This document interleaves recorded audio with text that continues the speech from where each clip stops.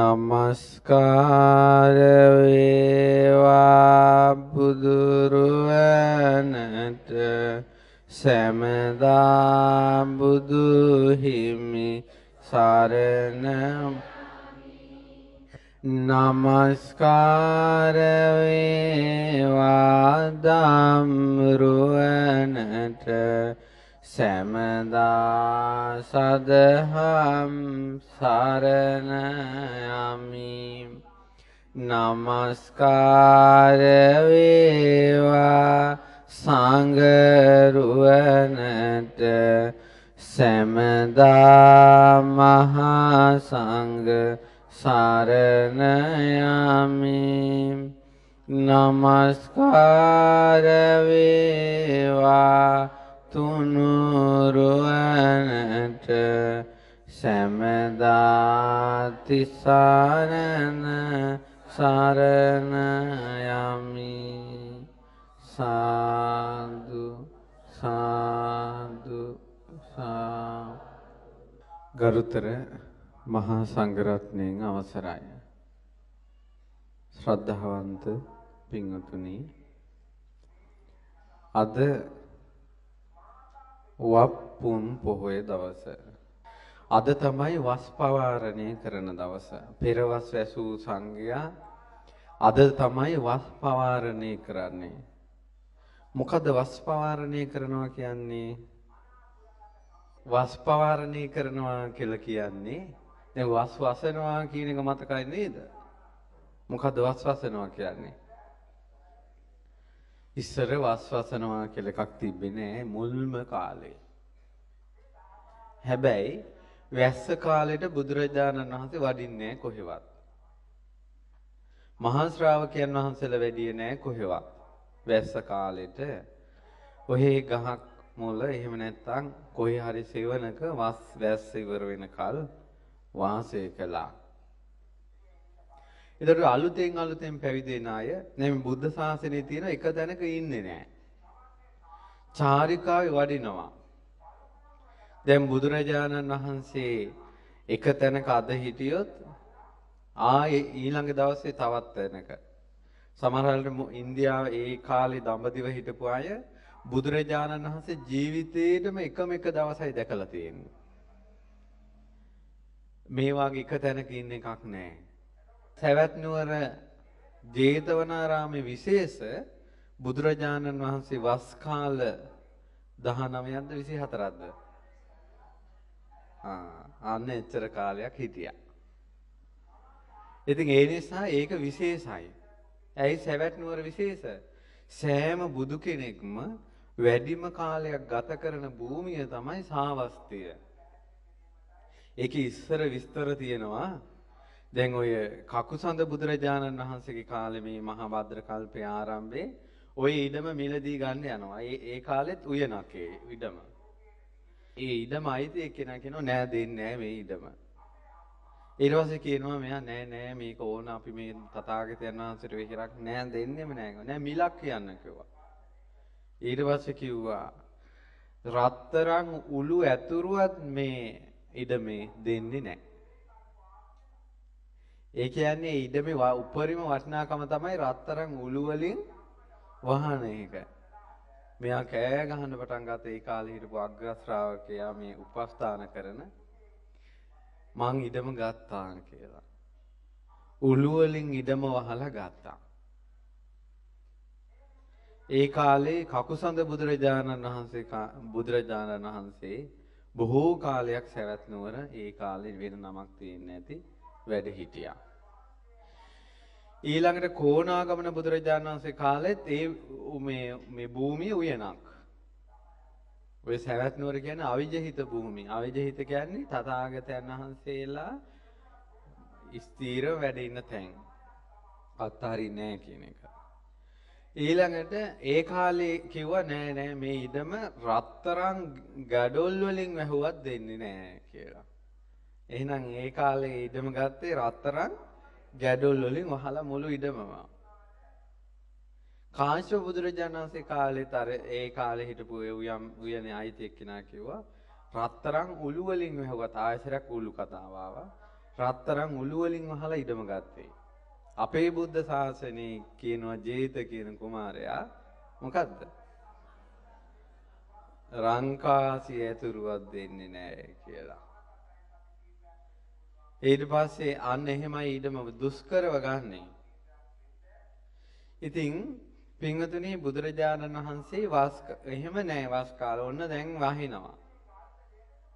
වැස්ස කාලෙට මිනිස්සු හරියට ඉන්දියාවේ බමුණු මතත් එක්ක ගස් කොළන් වලට වඳිනවා. අදටත් තියෙනවනේ අර තුර්කි සාකේ කියලා එකක්.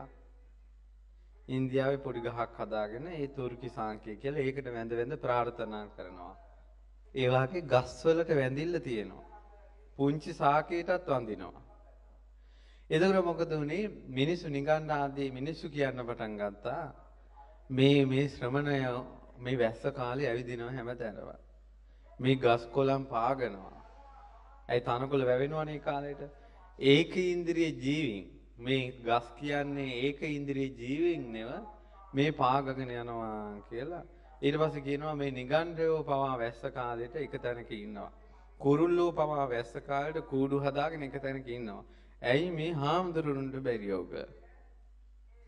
ඔන්න ඊට පස්සේ ওই කතාව යනකොට ස්වාමීන් වහන්සේලා භාග්‍යවතුන් වහන්සේට පදාලා බෝධිරජාණන් වහන්සේ වදාලා එහෙනම් මොකද වස්වසන වැස්ස කාලේ එක තැනක වාසය කරන්න. අන්න වස් ආරම්භය. ඊට පස්සේ ඊට ඒ කාලේ නීති තියෙනවා. මොකද්ද වස් කාලේ තියෙන විනය නීති? ඒ පෙරවස් පසුවස් කියලා දෙකක් තියෙනවා. ඒ කියන්නේ වැස්ස පටන් ගන්නකොටම ඇසල මාසේ වස් වසන්න ඕන. නොවැළැක්කිය හැකිම හේතුවක් තිබුණොත් එහෙම ඊළඟ මාසේ වස් වසන්න ඕන. කියන්නේ පොයේ දවසේ උපෝසත කර්මය කළා පහවදා වස් වසන්න ඕන. ඊට පස්සේ තියෙනවා ඒ වස් කාලේ දවස් 6යි පිටේ ඉන්න පුළුවන්. 7 වෙනි රෑ එළි වෙන්න කලින් එන්න ඕන අසපුවට. Taman ඉන්න තැනට. ඊළඟට වස් වසන්න ඕන අනිවාර්යෙන් කුටියක. ගල් වෙනක හරි කුටියක හරි වස් වසන්න ඕන එළි මහනේ බෑ. එතකොට මේ බුදුරජාණන් වහන්සේගේ ශ්‍රාවකයෝ මේ මාස 4යි එක දැනක වැඩ හිටියේ අනිත් මාස 8ේම චාරිකාවේ. හැබැයි හරි අගේ ඒක. දායකයෝ නැහැ. ඊළඟට ඒතකොට ධර්මයෙන්ම අල්ල ගන්නවා. අද ධර්මයේ නෙවෙයි අල්ලන්නේ. කවුරු හරි හොඳට කතා කළොත් එහෙම එයාව අල්ලනවා.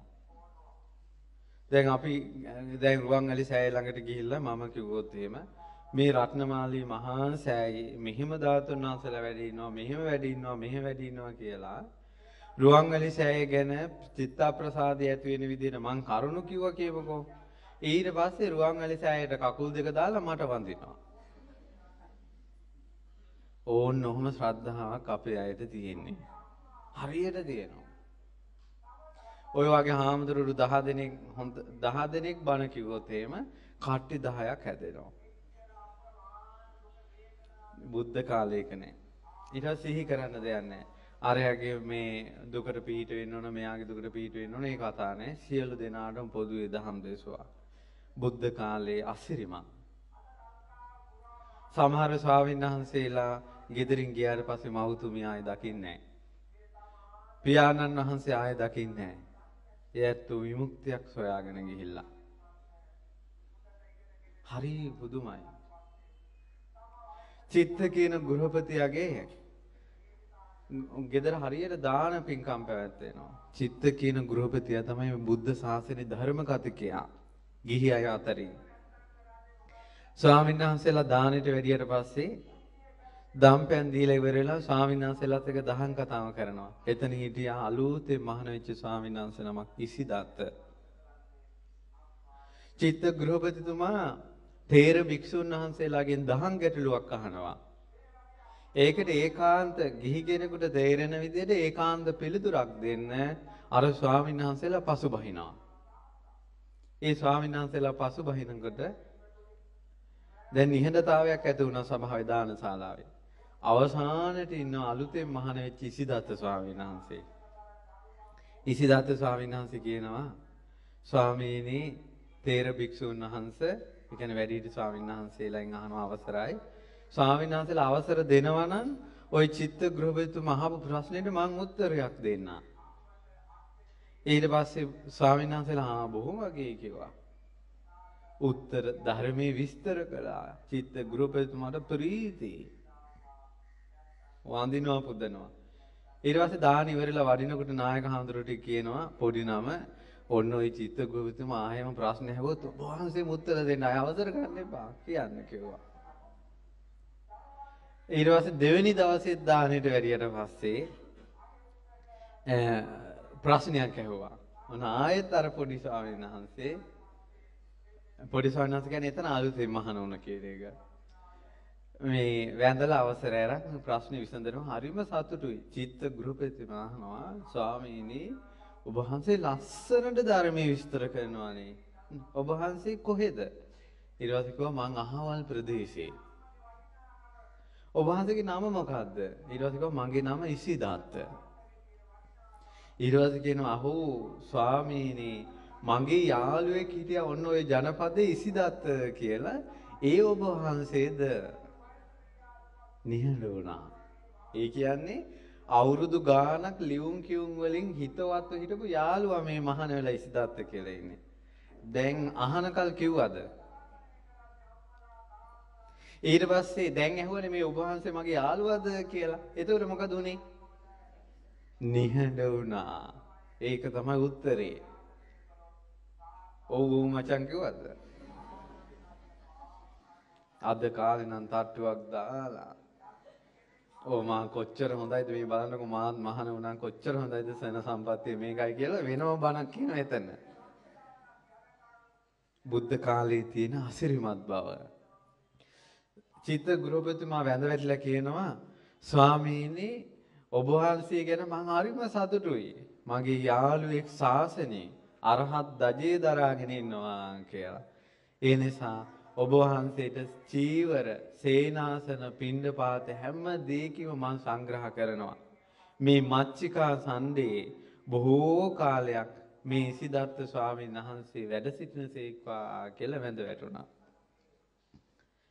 ඕන දැන් කිසි බයක් නැහැ දාන මාන ටික දෙන්න බෙහෙත් ඒත් ගැන යන්න දායකයෙක් ඉන්නවා. පංකාදු නැද්ද? පංකාදු පහයි. ඊට පස්සේ ඉසිදත්ත ස්වාමීන් වහන්සේ අසපුවට වැඩියා. වැඩලා කුටි හොඳට අතු ගාලා අස් කරලා පාත්‍ර සිවුරු අරන් එදාම වැඩියා. ආයාවේ නෑ මච්චික සම්ඩේට. රහතන් වහන්සේලා ආශ්චර්යයි. අද්භූතයි. උන්වහන්සේලාගේ නොහැල් නොඇල්ලුන බව. ඊට පස්සේ තියෙනවා මම කියන්නේ සංඝයා චාරිකාවේ වඩින බව. එක තැනක වාසය කරන්නේ ධර්මයේම ශ්‍රේෂ්ඨ කරගන්නවා. ඊළඟට ඔය මහක ස්වාමීන් වහන්සේත් ඒ වගේ. මහක ඒ සංඝයා දානෙට වැඩලා පිටිපස්සෙන් පාත්‍රය අරන් එනවා කවුද? චිත්ත ගුරුපතිතුමා හරි රස්නේ. ගහක් කොලක් නෑ වඩින මාවතේ. පොඩි ස්වාමීන් වහන්සේ නමක් මහක කියලා පිටිපස්සෙන් වඩිනවා. ඉතින් මහක ස්වාමීන් වහන්සේ හිතුණා නායක හඳුරුන්ගෙන් ඇහුවා ස්වාමීනි මේ වෙලාවේ ටිකක් මේ වලාකුළු ටිකක් ඇවිල්ලා හෙවණ මෙටිලා පිනිපොද එක දෙකක් ඇවිල්ලා හුලම් පොඩ්ඩකුත් හමාගෙන යනවා නම් කොහොමද? අගේ නෙව කිව්වා. ටික දුරක් යනකොට ලොකු වලාකුලක් ඇවිල්ලා වැහුණා උඩ. පිනිපොද එක දෙක වැටෙනවා හුලඟත් හමනවා. ඊට පස්සේ අසපුවට වැඩලා තේර භික්ෂුන් වහන්සේලා මහක ස්වාමීන් වහන්සේට සෙත් පතලා කුටියට වැඩියා. දැන් පිටිපස්සේ මේ ඔක්කොම බලාගෙන එනවා කවුද? චිත්ත ගෘහපතිතුමා. ඊට පස්සේ චිත්ත ගෘහපතිතුමා වන්දනා කළා. මහක ස්වාමීන් වහන්සේ ස්වාමීනි මටත් ආසයි 이르දියක් බලන්න. ඉතින් මෙයා චිත්ත ගෘහපතිතුමා කියන්නේ අනාගාමී කෙනෙක්. ධර්මයේ පිහිටපු කෙනෙක්, උතුම් දහම් කතාව දන්න කෙනෙක්. චිත්ත ගෘහපතිතුමා කියන්නේ පුදුම කෙනෙක්. බුද්ධ ශාසනයක නම් හිතේ එහෙම එක්කෙනයි පහළ වෙන්නේ. ඊට පස්සේ අර ස්වාමීන් වහන්සේ කිව්වා එහෙනම් හොඳයි. ඔබතුමා දැන් කුටිය ළඟට ගිහලා කිව්වා ඔබතුමාගේ උතුරු සළුව මේ ඉස්සරහ තියන්න මිදුලේ. ඒ උතුරු සළුවට අමු තනකොළ ගෙනල්ලා දාන්න කිව්වා. ඉතින් අමත් අමු තනකොළ ගොඩක් ගෙනල්ලා දැම්මාර උතුරු සළුවට. ඒ උතුම් රහතන් වහන්සේ කුටියට ගිහිල්ලා දොර වහගත්තා. දොර වහගෙන ටිකක් වෙලා යනකොට දොර සිදුරෙන් ගින්දරක් එනවා. දොර සිදුරෙන් ගින්දරක් ඇවිල්ලා අර උතුරු සළුවේ තිබ්බ තනකොළ ඔක්කොම ගිනි ගන්නවා. උතුරු සළුවට මොනවත් වෙන්නේ නැහැ. පුදුමයි. ටික වෙලාවකින් දොර අරගෙන රහතන් මහක ස්වාමීන් වහන්සේ වැඩියා. චිත්ත ගෘහපතිතුමාට හරි සතුටුයි. අච්චරියං බන්තේ අద్භූතම් බන්තේ ආශ්චර්යයි අద్භූතයි ස්වාමීනි. චීවර පින්නපාත සේනාසන ගිලම්පසාදයෙන් මම උපස්ථාන කරන්න. මච්චිකා සන්ඩේ බොහෝ කාලයක් වැඩ සිටින සේක්වා. මොකද උනේ? පහෝදා පාත්‍ර සිවුර අරන් වැඩියා. එක තැනක වාසය කිරිල්ලක් නැහැ. එතන මේ වාගේ ඒ උතුම් රහතුන්ගේ යුගය අපිට අහිමි වුණේ හරි පුදුම විදිහට. අපිටත් වෙලාවකට එහෙම ආසාවල් හට ගන්නවා. පරිසරයක් නැහැ. පරිසරයක් නැහැ. මොනව කරන්නද? එතකොට මේ බුද්ධ කාලේ ඉපදුනා නම් ඉපදුනා නම් කියන්නේ ඉපදෙන්න ඇද්ද? සමහරට දැන් මෙහෙම හිතුණාට ඒ කාලේ වගක් නැතුව ඇති. මේ සසර ඒ තරම් තුච්ච දෙයක්. අපි දැන් මේ තරම් ධර්මය වෙනුවෙන් මැරුණාට බුදුරජාණන් වහන්සේ පහළ වෙලා චතුරාර්ය සත්‍ය ධර්ම දේශනා කරනකොට ඔහි ගෙවල් වලට වෙලා ඉඳ ඇති. හරි පුදුමයි. ඒ ඒ යුගය හරි පුදුමයි. මගෙන් කවුරු හරි ඇහුවා දුරකථනයකින් කටින සිවුර කියන්නේ මොකද්ද? මං කෝ වස්වාසය කරලා ඒ වස්වසපු භික්ෂූන්ට සියලු භික්ෂූන් වහන්සේලා වෙනුවෙන් පූජා කරන එකම සිවුර එකේ තියෙනවා විනය කර්මයක් තියෙනවා ඒ කටින් ඒ සිවුරේ විශේෂයක් තියෙනවා මං කෝ වැසි පැම් පහසුවෙන් අඳින සිවුර වැසි සලුව. ස්වාමීන් වහන්සේලා වැසි සලුව අඳිනවා භික්ෂුණීන් වහන්සේලා දිය සලුව අඳිනවා. ඊළඟ ඇඳට අතුරන ඇතිරිල්ල පච්චත්තරණය සිවුරක් ඒකත්. කොෂ්ට තුවාලාදි තිබොත් ඒක වහගන්න අඳින සිවුර කණ්ඩු පටිච්චාදනය සිවුරා මෝන පිහින්ද සිවුරු මේ සිවුරු කෑල්ලක් ගන්නවා. ඒ සිවුරට කියනවා මොක පුංජක චෝලකය. ඉඳ ගන්ධ ගන්න සිවුරු කොටසක් තියෙනවා. ඒකට කියනවා නිශීදනය. ඒ වගේ වස් ආසය කරපු භික්ෂූන් සියලු දෙනා වෙනුවෙන් විනය කර්මයකින් සම්මත වෙලා ඒ ස්වාමීන් වහන්සේලාගේ ශික්ෂා පහසුව පිණිස පූජා කරන සිවුරට කියනවා කටිනේ මේවා දෙක තුනක් නැහැ එකයි කටින සිවුරු. එක ආවාසයක වාසය කරන භික්ෂූන් 100ක් හිටියත් කටින සිවුරු කීයද? එකයි. එතකොට මේ කටින සිවුරේ තියෙන ආනිසංසය තමයි මේ ඒ කටින සිවුරක් ගිහි ගිහි අය ඔන්න පූජා කරනවා ස්වාමීන් වහන්සේලාට. පූජා කළාට පස්සේ ස්වාමීන් වහන්සේලා මේ සිවුර අරන් යනවා සීමා මාලකයකට. සීමා මාලකයට ගිහිල්ලා ඔය අද ඉඳලා එක පටන් ගන්න. මොන අද ඒක කරන්න පුළුවන්කම්. අද ඉඳලා කරන්න පුළුවන්. ඊටෝරේ සීමා මාලකයකට ගිහිල්ලා ඒ සීමා මාලකේ ස්වාමීන් වහන්සේලා අත්පසින් වාඩි වෙනවා. කුමක්ද පින්වතුනි අත්පස කියන්නේ? ස්වාමීන් වහන්සේ නමක් ඉඳගත්තට පස්සේ අනිත් ස්වාමීන් වහන්සේ ගැංග අතින් අල්ලන්න මෙහෙම ස්පර්ශ කරන්න පුළුවන් දුර අත වැදෙන දුර තමයි අත්පස්. ඒ ගානට ළඟින් ඉඳ ගන්නවා. ඉඳගත් එහෙම අසුන්ගෙන විනය කර්මයක් කරනවා. ඒ විනය කර්මය තමයි මෙහෙම කටිනයක් ලැබුණා. මේ කටිනේ අපි අතුරනවා. ඔබ වහන්සේලා අනුමෝදන් වෙන්න කියලා පාලියෙන් වාක්‍යයක් කියලා ඒකට කියනවා කටිනත් හරණය කියලා. කටිනේ සම්මත කර ගන්නවා. ඊට පස්සේ ඒ අනිත් ස්වාමීන් වහන්සේට සාදුකාර දීලා අනුමෝදන් වෙනවා. එතන ඉන්න වික්ත ප්‍රතිබල සිවුරු අවශ්‍ය තේර භික්ෂූන් වහන්සේ නමකට සිවුර පූජා කරනවා. සිවුර පූජා කළ භික්ෂූන් වහන්සේටත් ඒ සීමාව ඒ වෙනකොට විනය කර්මයේ අනුමෝදන් වුණ භික්ෂූන් වහන්සේලාටත් සිල්පද පහක ලිහිල් බවක් එනවා. කුමක්ද ඒ? තිචීවර සිල්පදේ තියෙනවා සිවුරු තුනක් භික්ෂුන් වහන්සේලාට පාවිච්චි කරන්න පුළුවන් නේ. කටින සිවුරු පිළිගෙන මාස කිහිපයක් යනකල් සිවුරු තුනට වැඩිය පාවිච්චි කරන්න පුළුවන්. ඊළඟට තමයි සිවුරක් අදිෂ්ඨාන නොකර මේ කියන්නේ මේ මේ සිවුර මම පාවිච්චි කරනවා කියලා විනය කර්මයකින් අදිෂ්ඨාන නොකර ගත්ත සිවුරක් ළඟ තියාගෙන ඉන්න පුළුවන් දවස් 10යි. ඒ කියන්නේ සිවුරු සිවුරු රෙද්දක් ගෙනවල් ළඟ තියාගෙන ඉන්න පුළුවන් දවස් 10යි. ওই කටින්නය අතිරුවාට පස්සේ ඕන දවසක් ඕන සිවුරු ගානක් තියාගෙන හිටියා කි. ළඟට ස්වාමීන් වහන්සේලාට තියෙනවා මේ තමන් ගමට දැන් අපි කියමු මේ ආසොපිය නම් ගේට්ටුවෙන් එහාට යනකොට උපසම්පදා ස්වාමීන් වහන්සේ නමකට කියලා යන්න ඕන. මං අහවල් යන වඩිනවා කියලා.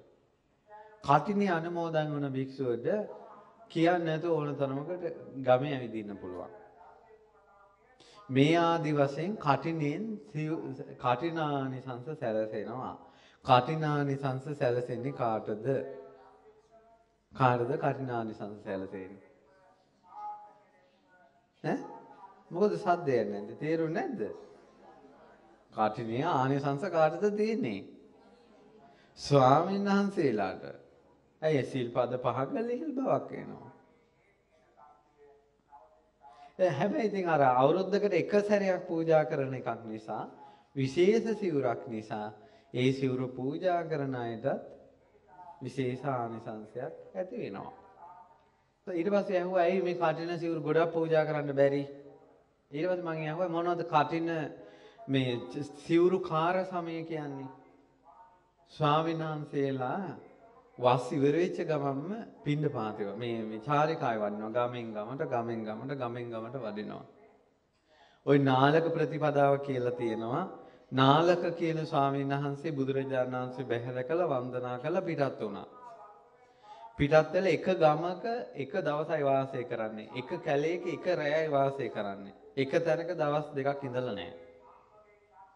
එහෙම එහෙම වඩිනවා. කොච්චර අගේද ඒ ජීවිතේ. ඊට පස්සේ දැන් මොකද කළේ? ඒ වගේ අර ස්වාමීන් වහන්සේලා වඩිනවා. වඩින නිසා ස්වාමීන් වහන්සේලාට අතරමැදදී සිවුරු හදාගන්න කාලේ නැහැ. පහසුව නැහැ. ඒ නිසා වස් වාසය කරලා වස් පවාරණය කළාද? තුරු වස් පවාරණය කියන්නේ මොකද්ද කියලා දන්නවද? දන්නවා. කොහොමද කරන්නේ? ඕ ඉතින් අපි ඒක කතා කරමු. ඊට පස්සේ වස් පවාරණය කළා මාසයක් විතර ඉන්නවා සිවුරු හදා ගන්නවා. සිවුරු මහ ගන්නවා. සමහරවිට ඉදිකටු හම්බ වෙනවා. එහෙම නැත්නම් ඔය උණ පතිරකෙන් හරි චූටි කූරක් හදාගෙන ඉදිකට වගේ ඒකේ නූලක් ගැට ගහලා ඒකෙන් තමයි මහන්නේ මේ අත්තු වල වෙනවා. සිවුරු මහ මාසයක් යනවා සිවුරක් මහ ගන්න. ඒතර ඒ සිවුර මහගෙන පඳු ගහගෙන තමයි ඔන්න චාරිකාවේ වඩින්නේ. අපේ බුදුරජාණන් වහන්සේත් එහෙමයි. ස්වාමීන් වහන්සේලා හදලා දෙන්නේ. ඇයි ආනන්ද ස්වාමීන් වහන්සේට චෝදනාවක් ආවේ සිවුර පෑගුවා කියලා? මතක නැද්ද? ආනන්ද ස්වාමීන් වහන්සේ පළවෙනි ධර්ම සංගායනාව කරනකොට රහතන් වහන්සේ නම. රහතන් වහන්සේලා චෝදනා පහක් ඉදිරිපත් කළ ආනන්ද ස්වාමීන් වහන්සේද. එකක් තමයි භාග්‍යවතුන් වහන්සේගේ වැසිසලු සිවුර පාගගෙන මැහුවා. පිළිගන්නව නේද වැරද්ද පිළිගන්න ඕන කිව්වා. ආනන්ද ස්වාමීන් වහන්සේ නැගිට්ටා. සංඝයාට ගෞරවයෙන් මං ඒ වැරද්ද පිළිගන්නවා මට සමා වෙන්න කියලා කිව්වා. හැබැයි එදා කවුරුවත් මට හිටියේ නෑ සිවුරා මේවා කරන්න. දැන් බලන්න බුදු කෙනෙක්ගේ සිවුර මහන්න තව කෙනෙක් නෑ. අල්පේච්චයි. අද කාලේ අද ඒකයි අද කාලේ බුදුරු වැඩ හිටින්නේ නැත්තේ. ඇයි හිටියානම් වට කරගන්නේ. වට කරගෙන යයි. ඒ කාලේ නෑ. මේ ප්‍රත්‍ය නෑ සිවුරු නෑ. මාසයක් හොයනවා සිවුරු කෑල්ලා. සිවුරු පූජා කිරිල්ලක් නෑ ඒ කාලේ. කලාතුරකින් බුද්ධ ශාසනයේ අවස්ථා කිහිපයයි තියෙන්නේ සිවුරු පූජා කළා කියලා. ස්වාමීන් වහන්සේ බුදුරජාණන් වහන්සේ පවා බුදුරජාණන් වහන්සේ තමන්ගේ සිවුරට බුදුරජාණන් වහන්සේගේ සිවුර ඉරිලා ඒ සිවුර ඉරිච්ච කොටස මහගන්න රෙදි කෑල්ලක් හොයලා හොයලා යනකොට මේ කවුද ගෑනු කෙනෙක් ජරාවක් ඔතලා දාලා තියෙනවා මේ මේ කුණු ගොඩට. ඒ රෙද්දේ ඉඳලා තියෙනවා පණුවෝ නැලි 16ක්. පණුවෝ නැලි 16ක් හිටපු රෙද්ද ගහ එල්ලලා සෝදලා බුදුරජාණන් වහන්සේගේ සිවුර මහගෙන තියෙනවා. පුදුම යුගයක්. ඒ කාලේ ධර්මයට තැන ප්‍රත්‍යයට තැනක් නැහැ. අද කාලේ ගබඩා පිරෙනවා සිවුරු වලින්. හරි පුදුමයි ඒක. ඊට පස්සේ ඉතින් සිවුරු මහන කාලේ චාරිකාය වඩිනවා. එක තැනක ඉන්නේ වස්තු මාසි තමයි එක තැනක වැඩ ඉන්නේ. ඊට පස්සේ වස් පවාරණය කියලා එකක් ආවේ. මේ ඔන්න දැන් බුදුරජාණන් වහන්සේගේ කාලේ ස්වාමීන් වහන්සේලා ටිකක් කතා කළා. දැන් අපිට මහන්සියක් නෑ එක තැනක ඉන්න තියෙන කාලේනේ. ඒ නිසා අපි මේ කාලේ මෙහෙම කරමු. මොකද්ද කරන්නේ? කිසි කතාවක් නැතුව ඉමු. අපි කිසි කෙනෙක් කතා කරන්නේ නැතුව ඉමු. කියලා කතා කරගත්තා. පින්න පාත යනවා වඩිනවා කිසි කතාවක් නැහැ ස්වාමීන් වහන්සේලා. දානශාලාවට ඉස්සෙල්ලාම වඩින කෙනා දානශාලාව පිළියෙල කරලා දාන් වළඳන්න හදනවා. කළ දානේ වළඳලා වඩිනවා. අවසානයේ ආපු ස්වාමීන් වහන්සේ දානේ වළඳලා අස්පස් කරලා කුටියට වඩිනවා. ඊට පස්සේ හදිසියවත් වතුර එකක් ගේන්න වුණොත් තනියෙන් ගේන්න බැරි නම් අර ස්වාමීන් වහන්සේට අතින් මුද්‍රා කරනවා. ඒ විනුවෙන්වත් වචනයක් කියන්නේ නෑ. නිහඬයි. ඉතින් මාස 3 අවසානයේ සෑම මාස 3ක් අවසානයේම බුදුරජාණන් වහන්සේ දකින්න ස්වාමීන් වස්වසපු ස්වාමීන් වහන්සේලා වඩිනවා. ওই වස් කාලේ තමයි ගොඩාක් රහතන් වහන්සේලා බිහි වෙන්නේ. ඒ එක තැන ගොඩක් භාවනා කරනවානේ. ඊට පස්සේ මොකද උනේ? අර ඒ ස්වාමීන් වහන්සේලා වැඩම කරලා බුදුරජාණන් වහන්සේට වන්දනා කරලා වඩිනවා. මේ නිහඬව හිටපු කතාව බතාවක් නැතුව වස්වසපු ස්වාමීන් වහන්සේලාත් වැඩියා. වැඩලා උසා බුදුරජාණන් වහන්සේට වන්දනා කරනකොට ජානාතිපි භගවා පුච්ඡanti. ජානාතිපි භගවා අපුච්ඡanti. භග භාග්‍යතුන් වහන්සේ දැනගෙනම සමහර ප්‍රශ්න අහනවා. දැනගෙනම සමහර ප්‍රශ්න අහන්නේ නැතුව ඉන්නවා. බුදුරජාණන් වහන්සේ අර්ථ දෙකක් බලලා තමයි තවත් කෙනෙක්ගෙන් ප්‍රශ්නයක් අහන්නේ. මොකද්ද ඒ අර්ථ දෙක? ධම්මං වා දේසිස්සාමි විනයං වා පඤ්ඤාපෙස්සාමි.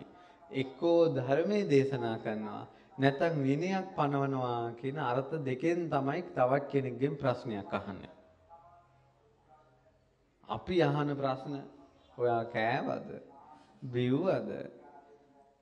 ලොකු පුතා කෝල් කළේ නෑ? ප්‍රශ්න ගොඩායි. නිකන් මේ මේ කෑම කන ගමන් කෑම කනවා මේ අතේ කෑම පිඟානේ. නාන්ද යනවා මේ සබන් යනන් මේ රිද්ද යනන්. නාන්ද යනවා හරි පුදුමයි. අපේ ප්‍රශ්න රටාව. භාග්‍යතුන් වහන්සේගේ හිම නැහැ. බුදුරජාණන් වහන්සේ අහන්නේ අර්ථ දෙකකින් ප්‍රශ්නයක් ඇහුවොත් අහන්නේ. මොකක්ද ඒ අර්ථ දෙක? පළවෙනි එක මතක තියාගන්න ඕන මොකක්ද ඒ? ධම්මං වා දේසිස්සාමි. ඒ කිව්වේ ධර්මයේ හෝ දේශනා කරන්නෙමි. විනයං වා පඤ්ඤාපෙස්සාමි. ඔව් විනය හෝ පනවන්නෙමි කියන අදහසින් තමයි ප්‍රශ්නයක් ඇහුවොත් අහන්නේ ඕනම කෙනෙක්ගෙන්. නිකම් ප්‍රශ්න ඇහිල්ලක් නැහැ. ඊට පස්සේ ඇයි දැන් කිසාගෝතමිය ආපු වෙලාවේ මේ ඇහුව ස්වාමීනි බේර ගන්න කියලා කිව්වා. බුදුරජාණන් වහන්සේ වදාලා බේර ගන්නම්. කවුද බේරගන්නේ? ඈ? අම්මා. අම්මා කියන වචනේ අධ්‍යාරයේ තියෙන. අධ්‍යාර කියන්නේ සංගවෙච්ච වචනේ තන. බුදුරජාණන් වහන්සේ වදාළේ මම බේර ගන්නම්. කවුද? අම්මා. ඇයි දුවගෙන ආවේ මම කිව්වේ අනේ ස්වාමීනි බේර ගන්න කියලා. බුදුරජාණන් වහන්සේ වදාලා බේර ගන්නම්. අම්මව. පුතා මැරුණ අම්මා නැගිට්ටා. කිසා ගෞතම. කවදාවත් අර්ථයක් නැති ඉස්පිල්ලක් පාපිල්ලක් බුදුරජාණන් වහන්සේගේ බුදුමින් පිට වෙලා නැහැ. ඒ නිසායි බුද්ධ වචනයක් කියලා අදිෂ්ඨාන කළත් ඒ ආනුභාවය පිහිටනවාමයි. කිසිම අර්ථයක් පාලියක් දන්නේ නැති කෙනෙක් වුණත් එක දිගට පිරිත් කියලා සෙත් පතපුම එයා අර්ථය දන්නේ නැති උනාට ඒක බුද්ධ වචනයක් නිසා බුද්ධානුභාවය පැතිරිලා තියෙනවා. ඒ බුද්ධ වචනේ සූත්‍රවල පිරිත්වල බලය පිහිටලා තියෙන අකුරු වල නෙවෙයි. එහෙනම් මොකද්ද? සත්‍යයේ ඇත්ත වචනේ බලය පිහිටලා. සෑම සූත්‍රයකම අවසානයේ සිත් පතන්නේ කොහොමද? ඒතේන සච්චේන ඒ සත්‍යානුභවයෙන් සිත් වේවා කියලා. ඔන්න දැන් වස් පවාරණය ගැන කියන්නේ. ඊට පස්සේ බුදුරජාණන් වහන්සේ ඇහුවා පින්වත් වික් මහණෙනි කොහොමද වස් කාලේ? ස්වාමීනි හොඳට හිටියා. සුවෙන් හිටියා අපි නම් කතා කළේවත් නෑ. ස්වාමීනි අපිට කිසි කෙනෙක් කතා කළේ නෑ. අපිට වතුර එකක් ගෙනියන්න කවුරු වුණත් අතවලලා කතා කරනවා වචනයක් කියන්නේ. බුදුරජාණන් වහන්සේ වදාලා හිස් පුරුෂය මේ අන්‍යාගංකාරයෝ වගේ මෝනීය වෘතයක් රැකලා එකිනෙකා වචනයන් කතා නොකරගෙන අපහසුයෙන් ඉඳලා පහසුවෙන් හිටියා කියලා බුදුරජාණන් වහන්සේ ඉස්සර ඇවිල්ලා කියනවා. අද ඉඳලා මෝනීය වෘතය සමාදන් වීම තහනම්. ඒ කියන්නේ වස් කාලේ අපි කතා කරගෙන නැතුව ඉමු කියලා තීරණයකට එන්න බෑ. එකිනෙකාගේ ප්‍රිය බුදුරජාණන් වහන්සේ වදාහන වස් කාලේ එකිනෙකා අඩුපාඩු හදාගන්න කතා කරලා. එක තැන ඉන්නකොට අඩුපාඩු එන්නේ. දැන් සමහර අය අහනවා අපේ අම්මත් එක්කමයි මට තරහ යන්නේ. ඔන්න hina වෙන මෙතන ඉන්න අය ඇති එහෙනම්. සමහර අය කියන තාත්තත් එක්කම අපේ ගෙදර අයත් එක්කමයි තරහ යන්නේ ඇයි ඒ කියලා අහනවා. ඒ කියන්නේ වැඩි හරියක් ඉන්නේ ගෙදර අයත් එක්කනේ. වැඩිම හරියක් ඇසුරු කරන අයත් එක තමයි කෙලෙස් ඉස්මතු වෙන්නේ. පැහැදිලි නේද? ඒ වගේ ස්වාමීන් වහන්සේලා අර ඒ මේ නිතර ඇසුරු කරන පිරිස අතරමයි කෙලෙස් ආදී දේවල් පේන්නේ. ඒ නිසා ඒ කාලේ එකිනෙකා කියා ගන්න ඕන අඩුපාඩු. ඊට පස්සේ බුදුරජාණන් වහන්සේ එහෙම දේශනා කරලා අන්න වස් පවාරණයක් පනවනවා. පින්වත් මහණෙනි වස්වැසූ භික්ෂූහු පුම් පෝයදා එක පෝයගේකට එක් වෙන්න ඕන. ඔන්න අද කරන දේ අද රැට අපි මේ ඉන්න ස්වාමීන් වහන්සේලා ලංකාවෙම ස්වාමීන් වහන්සේලා අද ඒක කරනවා. හැබැයි ඊළඟ පොය එකක් කල් දාන්නත් පුළුවන්. නමුත් අද අනිවාර්යෙන් කරනවා බොහෝ විට. එතකොට මොකද කරන්නේ පොයගේකට එකතු වෙලා අනිත් අයට පවරන්න ඕන. මොකද පවරන්නේ? වැඩිහිටි ස්වාමීන් වහන්සේ. අනිත් ස්වාමීන් වහන්සේලාට පවරනවා ප්‍රිය ආංශමතුනි මේ වස්තුන් මාසේ මං වස් වැසුවා. ඒ වස් කාලේ මාගේ සිතෙන් හරි කයෙන් හරි වචනෙන් හරි වෙච්ච අඩුපාඩුවක් දැක්කනම් මට අනුකම්පා පිණිස දේශනා කරන සේක්වා. මගේ අඩුපාඩු කියන්න මං ඔය ඔබ වහන්සේලාට පවරනවා කියලා අන්න වස් පවාරණය කරනවා. වස් දොස් කියන්න පවාරණය කරනවා. තමන්ගේ අඩුපාඩු කියනවා දිත්තංවා සුතංවා පරිසංකායවා. ඒක අහපු දෙයක් වෙන්න පුළුවන් ඔබ වහන්සේලා මේ භික්ෂුවගේ මෙහෙම අඩුපාඩුවක් තියෙනවා කියලා. සුතං අහපු දෙයක් දිත්තං දැක්ක දෙයක් වෙන්න පුළුවන්. ඊළඟ පරිසංකාය කියලා කියන්නේ මේ සැක හිතුන මෙයාගේ නම් මේක වගේ වැරද්දක් තියෙනවා දෝ කියලා හිතෙනවා වගේ එකක් තියෙනවා කියන්නේ. අන්න ඒක කියන්න. මං ඒක වැරද්දක් විදිහට දැක්කොත් මං ඒක හදා ගන්නම්. කියලා පවරන්න කිව්වා අනිත් ස්වාමීන් වහන්සේලාට. ඕක ඔන්න ওই ටික මං කියපු ටික පාලියෙන් කියනවා. ඒක තමයි වස් පවාරණය. ඊළඟට එතනින් අනිත් ස්වාමීන් වහන්සේත් ඊළඟ ස්වාමීන් වහන්සේට වැඳලා කියනවා මගේ මේ වස් කාලේ මං වස් වැසුවා.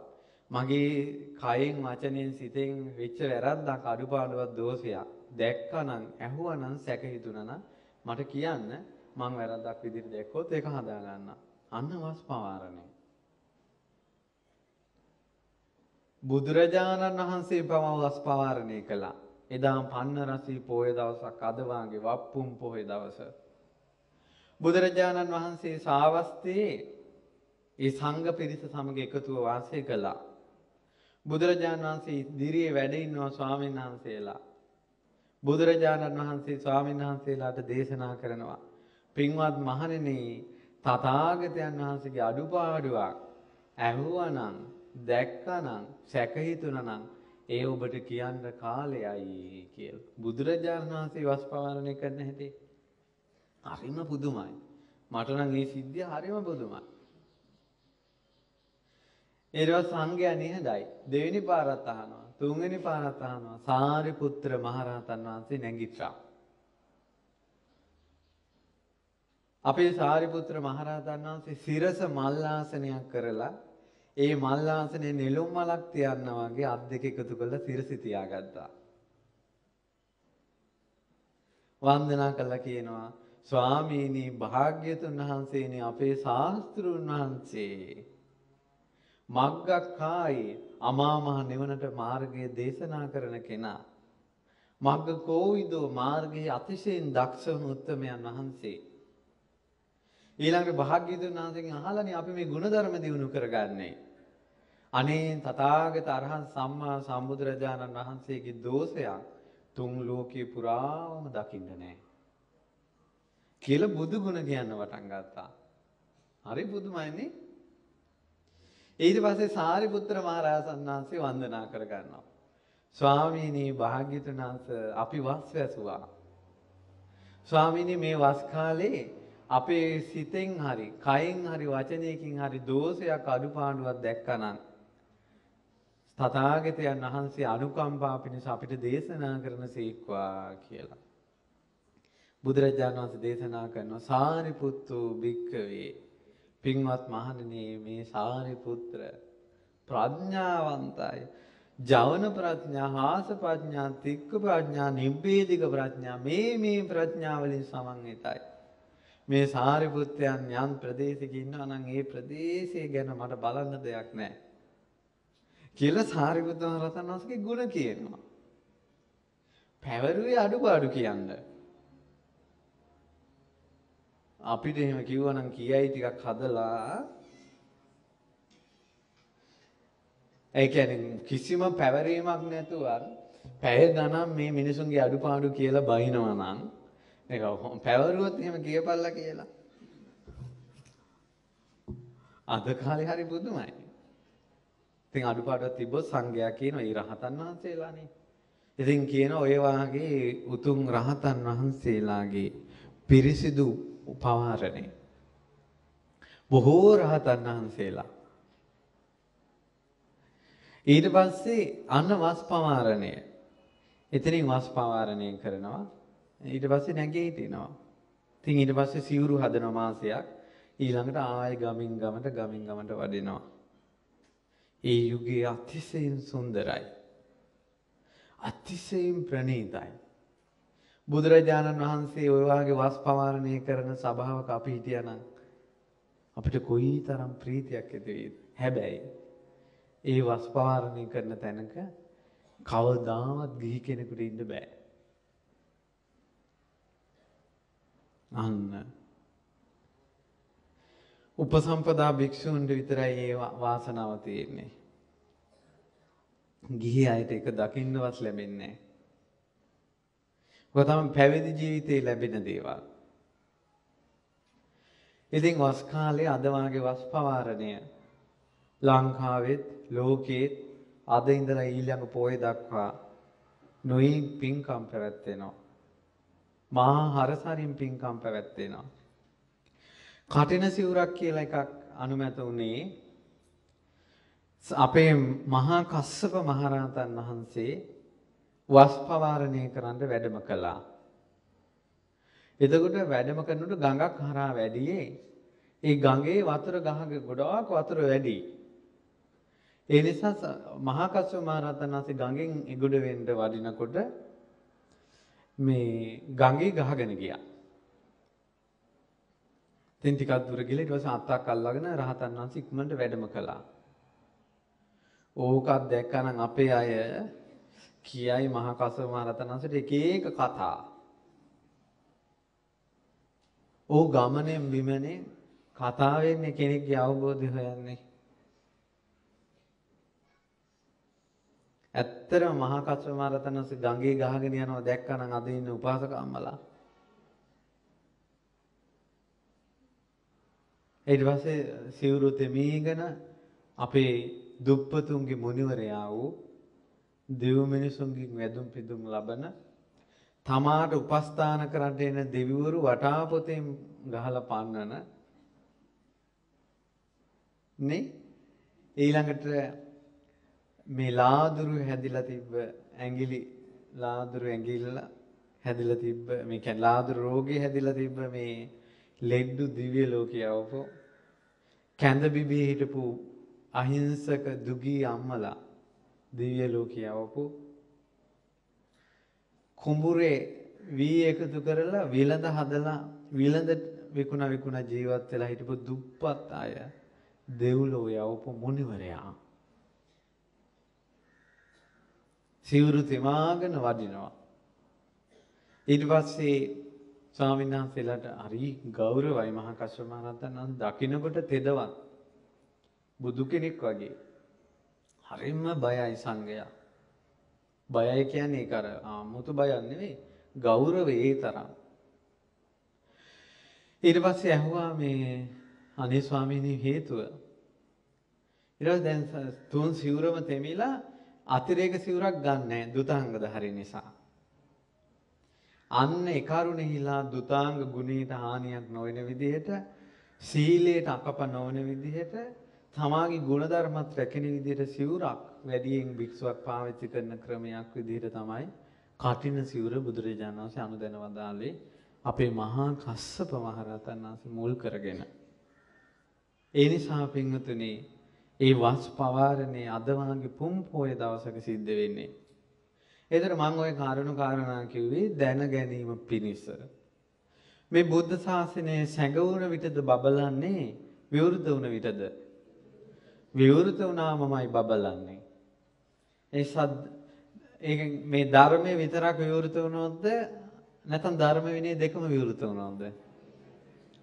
ධර්ම විනය දෙකම විවෘත වුණොත් බබලන්නේ. ඒ නිසා දැනගත යුතුයි. ඉතින් පින්වතුනි අද මම කල්පනා කළා දහම් කාරණාවක් විදිහට දේශනා කරන්න අංගුත්තර නිකායේ සූත්‍ර දේශනාවක් මේකේ තියෙන තතිය කම්ම සූත්‍රය කියලා මේ කර්මය ගැන තියෙන 아무තු ලස්සන විග්‍රහයක්. මොකද කර්මය ගැන දන්නේ අපේ බුදුරජාණන් වහන්සේනේ. බුදුරජාණන් වහන්සේට දසබල ඥානයක් තියෙනවා. පුණජ පරම් භික්කවේ තථාගතෝ අතීතානාගත පච්චුප්පන්නානං කම්ම සමාදානං හේතුසෝ ඨානසෝ විපාකම් පටිජානාති කියලා. පින්වත් මහණෙනි තථාගතයන් වහන්සේට අතීත අනාගත වර්තමාන කර්මයන් විපාක දෙන හැටි විපාක දෙන ආකාරය හේතු වශයෙන් ප්‍රත්‍ය වශයෙන් තථාගතයන් වහන්සේ දන්නවා. යේහි බලෙහි සමන්නාගතෝ තථාගතානං ආසබණ්ඨානම් පරිජානාතේ. ඔන්න ඔය බලයේ පිහිටලා තමයි බුදුරජාණන් වහන්සේ පිරිස් අතර බය නැතුව කතා කරනවා. ඊළඟට පරිසාස සිහියනාදන් නදති පිරිස් මැද සිංහනාද කරනවා බ්‍රහ්මචක්කම් පවත්වේති උතුම් ධර්ම චක්‍රය පවත්වනවා. ඒ නිසා බුදුරජාණන් වහන්සේට කර්ම විපාක ගැන පුදුම අවබෝධයක් සත්‍ය පරිපූර්ණ අවබෝධයක් තියෙන එකම උත්තමයන් වහන්සේ ඒ කර්ම විපාක ගැන අනිත් අයට තේරෙන්නේ නැහැ. දැන් අපිව හඳහනම් ගත්තොත් හස්ත රේඛා ගත්තොත් අංග ලක්ෂණ ගත්තොත් එක්තරා සීමාවක් තමයි. එයාලා මොනවා කිව්වත් සීමාවකට එකඟයි. එයාලගේ ජීවිතේ කර්මානුරූප වෙනස් වෙන ආකාරය එහෙම කියන්න බෑ. එහෙම කියන්න බෑ. ඇයි ඒකට හේතුව මං උදාහරණයක් කියන්න. යාළුවෝ දෙන්නෙක් මොකක් හරි වැරද්දකට අහු වෙලා උල තිබ්බ එක්කෙනෙක්. අනිත් එක්කෙනා මැරුවා. මැරිච්ච එක්කෙනා ගිහිල්ලා විමාන ප්‍රේතෙක් වෙලා ඉපදුනා. ඉපිද දැන් අරයා උල උඩ ඉන්නවා. විමාන ප්‍රේතය හැමදාම හවසට ඇවිල්ලා කියනවා. පින්වත ජීවත් වෙන්න ජීවත් වෙන්න ජීවත් වෙන්න කියලා කියනවා. මතකයි නේද? මොකද අම්බ සක්කරද? ඈ? ඊට පස්සේ අම්බ සක්කර ප්‍රේත වස්තුවනේ. ඊට පස්සේ අර ඊට පස්සේ රජතුමාට ඔන්න ඔහොම කතාව ගියාක මම කතාව කියන්නේ මම කදහන් අර්ථය කියන්නේ. ඊට පස්සේ යහන ප්‍රේතයාගෙන් ඇයි මේ ජීවත් වෙන්න ජීවත් වෙන්න කියලා කියන්නේ? මෙයා මැරුණ ගමන් නිරේ යන්නේ. ඒ නිසා එක දවසක් ඕ ජීවත් වෙන්න කියලා තමයි මම කියන්නේ. මේ ප්‍රේතයාට පේනවා යාගේ ජීවිතේ. දැන් දවස් 20ක් උල උඩ හිටියා. මැරෙන්නේ නැහැ. දවස් 20ක් උල උඩ හිටියා මැරෙන්නේ වේදනාව විඳ විඳ ඉන්නවා. අරයට පේනවා මෙයා මැරුණ ගමන්ම ඉපදෙන්නේ නිරේ. ඒ පව් කරපු කෙනෙක්නේ. ප්‍රේතයාට ඇඳුන්නේ නැහැ. ඊට පස්සේ කියනවා කච්චාන මහරහතන් වහන්සේ වැඩ ඉන්නවා. මේ ඒ රහතන් වහන්සේට වස්ත්‍ර පූජා කළා මට පින් දෙන්න කියලා රජුරු යොමු කළා. රජුරු වස්ත්‍ර දුන්න ගමන්ම අර ප්‍රේතයාට වස්ත්‍ර ලැබෙනවා. රජතුමා පැහැදුනා. පිනේ විපාක දැක්කා. පිනේ විපාක දැකලා රහතන් වහන්සේ ළඟ වැඳ වැටුණා. ඒ රජ්ජුරුව මාලිගාව ඉස්සරහින් පිටින් යන හාමුදුරන්ට ගහලා තියෙනවා. සමහරට රහතන් වහන්සේලා. මාලිගාව ඉස්සරහින් යන ස්වාමීන් වහන්සේලාගේ පාත්‍ර බිඳලා තියෙනවා. නොයෙකුත් පරිභව කළා තියෙනවා රජ්ජුරුව. රජ්ජුරුව ඒ වැරද්ද තේරුම් අරන් සමාව අරන් ඉක්මනට උල උඩ ඉන්න කෙනා නිදහස් කළා. වෙච්ච කතා බය ඇහුණ නිසා බය වුණා. බය වෙලා මට මහාන වෙන්න ඕන කියලා අර උඩ උල උඩ හිටපු කෙනා මහාන වුණා. පැවිදි වුණා. ටික කාලෙකින් රහතන් වහන්සේ නමක්. ඒව කාටද පේන්නේ? කාටද පේන්නේ? බුදු කෙනෙකුට මිසක් අර රජ්ජුරුව සෝහන් වුණා. දැක්කද මේ වැරදි අඩුපාඩු හදාගන්න එකේ වටිනාකම? ඔයාලා කවුරුවත් ස්වාමීන් වහන්සේලාගේ පාත්‍ර බිඳලා තියෙනවද? ඊළඟ ස්වාමීන් වහන්සේලාට ගහලා පාගල බිම පාගල දාලා තියෙනවද? ඉන්නවා? ඊට පස්සේ ස්වාමීන් වහන්සේලාගේ පිටිපස්සෙන් දෙස් දෙවුල් තියාගෙන මූණට බැනගෙන නැති තැන බයින් එක බයින්ලා ඇති ඕන තරම් එහෙම නෑ. ඒතකොට එහෙම හිටපු කෙනෙකුත් සෝවාන් වුණා නම් නිරේ යන්න හිටපු අර උල උඩ හිටපු කෙනා අරහත්ත්වයට පත් වෙනවා කියන්නේ බුද්ධ ශාසනය කොයිතරම් ආශ්චර්යද. ඒව අනිත් අයට දකින්න බෑ. ඒ නිසා ඔබට ඔබට පුළුවන්කම ඇති මේ ධර්මයෙන් ලොකු දියුණුවක් ලබන්න. නමුත් ඔබ රාගින් බැටකන කෙනෙක් වෙන්න පුළුවන්. නිතර නිතර තරහින කෙනෙක් වෙන්න පුළුවන්. ක්‍රෝධයෙන් ඉන්න කෙනෙක් වෙන්න පුළුවන්. ඉරිශ්‍යාවෙන් ඉන්න කෙනෙක් වෙන්න පුළුවන්. මාන්‍යයෙන් ඉන්න පුළුවන් කෙනෙක් වෙන්න පුළුවන්. කිසි කෙනෙකුට යටත් නැති කෙනෙක් වෙන්න පුළුවන්. නමුත් ඔබගේ පින ඇති වෙනම. ඔබ ඔබගේ අඩුපාඩුව අඩුපාඩුවක් වශයෙන් දැකලා හදාගත්තොත් ආන්න එදාට ඔබට ජයනවා. ස්වාමීන් වහන්සේ නමක් හිටිය හරි මාන්නයි. යන්නේ අනි ස්වාමීන් වහන්සේලාත් එක්ක පින්දපාත. එයා තනියෙම යන්නේ. එයාට පින්දපාත යනවා නම් ඉස්සරහින්ම යන්න ඕන. කිසි කෙනෙක් කියන එක අහන්නේ මේ ස්වාමීන් වහන්සේ දවසක් සැතපෙලා ඉන්නකොට හීනයක් දැක්කා. මොකද්ද හීනේ? මේ ස්වාමීන් වහන්සේ වටිනා සිවුරක් ඇඳගෙන වටිනා සිවුරක් ඇඳගෙන ඇතා පිටින් යනවා. පින්ඩ පාතේ යනවා ඇතා පිටින් පාත්‍රෙත් ඇරන්.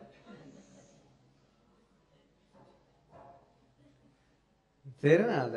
ඇත අපිතින් පාත්තරයක් අරන් පින්ඩපාත යනකොට අනේ දුප්පත් අම්මලා පාරයිනේ බිම් බලාගෙන ඉන්නවා දාන ටිකක් තියාගෙන.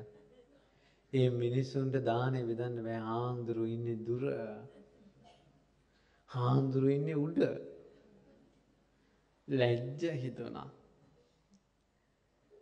පින්ඩ පාත ගන්න ඇතාගේ බිමට බහිනවට මැහැරුණා. පුදුම දුකක් ඇති වුණා. අර මාන්නේනේ පෙන්වුවේනේ. දුකක් ඇති වුණා. හිත සංසිඳව ගත්තා. එහෙම නිදාගෙන හිටපු ඇඳේම මේ භාවනාවට ඉඳගත්තා. නැගිට්ටේ රහතන් වහන්සේ නම. දැන් මිනිස්සු කර උඩ හිටියත් හිත රිදෙන කෙනෙක් නෙවෙයි. ඒකයි පොඩි දෙයකින් ඇහිලා ඇත්තේ. අපි දන්නේ නැහැ. ඒ නිසා අර ඊළඟට තමයි කර්ම විපාක දරා ගන්න බැරි වීම. හරියට තියෙනවා. Tamanda කරදර එනකොට ඒ මත්තෙම නැහිනවා. ඇයි මට ඇයි මට කියලා මේ කර්මයකට උත්තරයක් හොයලා ඉන්නවා මේක නිදහස් වෙන්න කල්පනා වෙන්නේ අපිට. හරියට තියෙනවා. දැන් අපිත් එක්ක මිනිස්සු ඇවිල්ලා කතා කරනකොට ඒ කතාවල ප්‍රශ්නවල තියෙන්නේ මේවා. ඒ කියන්නේ ප්‍රශ්නෙම නැවතිලා. දැන් අවර පහුගිය කාලේ අඟුලිමාල මහරහතන් වහන්සේගේ ධාතුන් වහන්සේලා ප්‍රදර්ශනය කළා. එතකොට අඟුලිමාල මහරහතන් වහන්සේ කියන්නේ තීජාන්විතයි, ආනුභාවයි. නිසින්නට්ඨාන දෝනං උදකම්පි විනාශේති සබ්බබිම පරිස්සයන්. උන්වහන්සේ වැඩ ඉන්න තැන සෝදලා පැන් ටිකක් වැළඳුවොත් ඒ පැන් ටිකිනු දුක් දුර වෙනවා. කප්පට්ටායි මහා තේජන් ලෝකනාථේන භාසිතං. උන්වහන්සේගේ සත්‍ය ආනුභාවය කල්පයක් පවතිවා කියලා තථාගතයන් වහන්සේ අදිෂ්ඨාන කළා තියෙනවා. මෛත්‍රී බුද්ධ ශාසනයේ තංගුලිමාල ස්වාමීන් වහන්සේ ගැන කතා කරાવી. මෛත්‍රී බුද්ධ ශාසනයේ සමහර වෙලාවට අඟුලිමාල මහරහතන් වහන්සේ පිරිත් දේශනා කරපු තැන අදටත් තියෙනවනේ. ඒ චෛත්‍ය ඇතුළට යන්න පුළුවන්. ඇයි ඒ? අර වැඩ හිටපු ආසනේ හොදන්න. ලොකු ගල් ආසනයක වැඩ ඉඳලා තමයි උන්වහන්සේ පිරිත් දේශනා කළේ. අද ඒ ගල් ආසනේ නෑ. ඇයි ඒ? හොදලා හොදලාම ගෙවිලා. ඒ තරම් මිනිස්සු දුක් දුක් දුරු කරගෙන. ඒ නිසා මේ ළඟදී අම්මා කෙනෙක් ආවා. හරිම මේ දුක්බරයි ඒ කතාව. ඒ මෑණියන්ගේ මේ කර්මයේ ස්වභාවය පවුලේ කවුරු හරි මැරිලා ගිහිල්ලා යක්ෂයෙක් වෙලා ඉපදිලා පේන්නම ළඟට එනවා. ඇවිල්ලා උණු වතුරක් කරන ඇඟට. මේ ඔක්කොම හැමියව ගහනවා, හැම ගහනවා. මේවා හූරන හොඳ ගැංගී තුවාල. ඊට පස්සේ ඉස්සරහට ඇවිල්ලා පිඹිනවා. ඊට පස්සේ මාත් එක්ක කතා කරනවා. දැන් මාත් එක්ක කතා කරනකොට අර යක්ෂයා ඇවිල්ලා කන වහනවා අරයාගේ. දැන් මම මොනවද කියන්නේ කියලා තේරෙන්නේ නැහැ යාට. ඊට ඔය දුක කියාගෙන ආපෙල්ල දැන් අපි මොනව කරනද අපි දන්නේ නැහැ එක එක්කෙනායි කර්මනේ. ඊට පස්සේ මෙහි ආපෙල්ල දැන් අඟුලිමාල මහරහතන් වහන්සේ කියන්නේ කල්පයක් පවතින තේජහන් බව තේනවා. යම් තැනක අඟුලිමාල මහරහතන් වහන්සේගේ ධාතුන් වහන්සේ නමක් තියෙනවද වටේ ගව් ගාන ආරක්ෂාව පැතිරෙනවා. අඟුලිමාල මහරහතන් වහන්සේගේ ගුණ නැවත නැවත සිහි කරනවද ඇඟ ඇතුලේ භූත දෝෂ හිටින්නේ නැහැ. ඊට පස්සේ එහෙම තේජාන්විත බවක් තියෙනවා.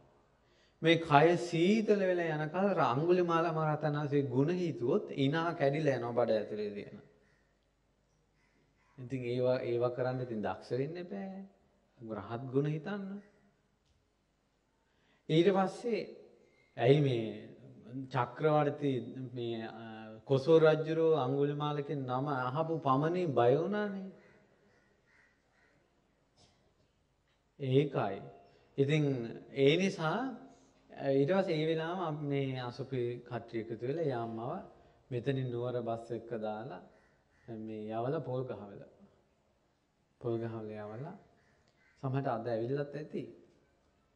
පොල්ගහවල යවල එතනින් කියලා අඹේ පුස්සෙන් බස් එකක් අරන් යන්න මෙහෙම පොල්ගහවල මේ ධාතුන් වහන්සේලා ප්‍රධාන ජීවිතයේ අඟුලිමාල මහරහතන් වහන්සේට පූජා කරලා වැඳලා එන්න කියලා. ක්‍රමී කියලා දීලා. ගියා ඊයාව ප්‍රශ්න ඉවරයි. මේ ලක්ෂ ගාණක් වේදම් කළා අර දෝෂي අයින් කරන්න. ඊට පස්සේ තව එක ප්‍රශ්නයක් තියෙනවා කිව්වා. ඒක හිවි ස්වාමීන් වහන්සේලා කතා කළොත් ඇහෙන්නේ නැහැ. කියන්නේ දැන් ඇඟ ඇතුලේ ඉන්න බෑ. අපි කතා කරනකොට කන වහනවා අරයා කිව්වා. දැන් ඊ ළඟ ඉන්නවා. ඇඟෙන් අයින් වුණා. ඒකට ක්‍රමයක් තියෙනවා. ලියලා දුන්න කොලේක. කො මොනවා කරගත්තද දන්නේ නැහැ කොලේට හොඳයි. රුවන්වැලි මහසෑයට යෑම. රත්නමාලි මහසෑයට යන එක තමයි යන්න විසඳුම. කැලණියත් ඒක කරන්න පුළුවන්. නමුත් අපේ මේ මිනිසුන්ගේ අර කැලණිය නිතර නිතර වැඳලාද කොහෙද මේ ඉන්නේ හිතට එකක්. කැලණිය කියන්නේ බුදුරජාණන් වහන්සේ වැඩ අඟුලිමාල මහරහතන් වහන්සේත් එක්ක වැඩපු තැනනේ. ආ බුද්ධානුභාවයේ ඉස්සෙල්ලාම පැතිරෙන තැන බුදුරජාණන් වහන්සේ පෑම් පහසු වෙච්ච තැන ජල සාටිකා ධාතුව තියෙන තැන දන් වළඳපු තැන ඊට පස්සේ කමන්නේ රුවන්වැලි මහසෑයට ගිහිල්ලා මෙන්න මෙහෙම කරන්න කියන්නේ වටේ ප්‍රදක්ෂිනා කරලා බුදු ගුණ කියලා වන්දනා කරලා ජීවිතේ පූජා කරලා නලල පේසාවලේ තියලා වැඳගෙන පැය කාලක් පැය භාගයක්වත් ඉන්න ඕන ජීවිතේ පූජා කරලා මහා සෑයෙන් ආශිර්වාද ලැබේවා කියලා අදිෂ්ඨාන කරගෙන ඊට පස්සේ ආයෙත් නැගිටලා බුදු ගුණ කියලා පිරිත් කියාගෙන ආටනාට එහෙම කියන එක හොඳයි. එහෙම කියලා ඉන්න ඕන මළුවේ පැයකට වැඩියවත් ඉන්න ඕන. එතකොට එළියට එන්නේ නැතුව පැයකට වැඩියවත් මළුවේ ඉන්න ඕන. විශේෂ පිරිකර කියලා ඕනේ නැහැ. පුළුවන් මල් වට්ටියක් නම් මල් වට්ටිය අරන් යන්න. එදාට රුවන්වැලි සෑය විතරක් වඳින අදහසින් යන්න ඕන. ඒ කියන්නේ දැන් නැත්තම් රුවන්වැලි සෑය වැඳ වැඳ ඉන්න ගමන් කල්පනා වෙනවා ජයසිරි මහබෝධිටත් යන්න ඕන.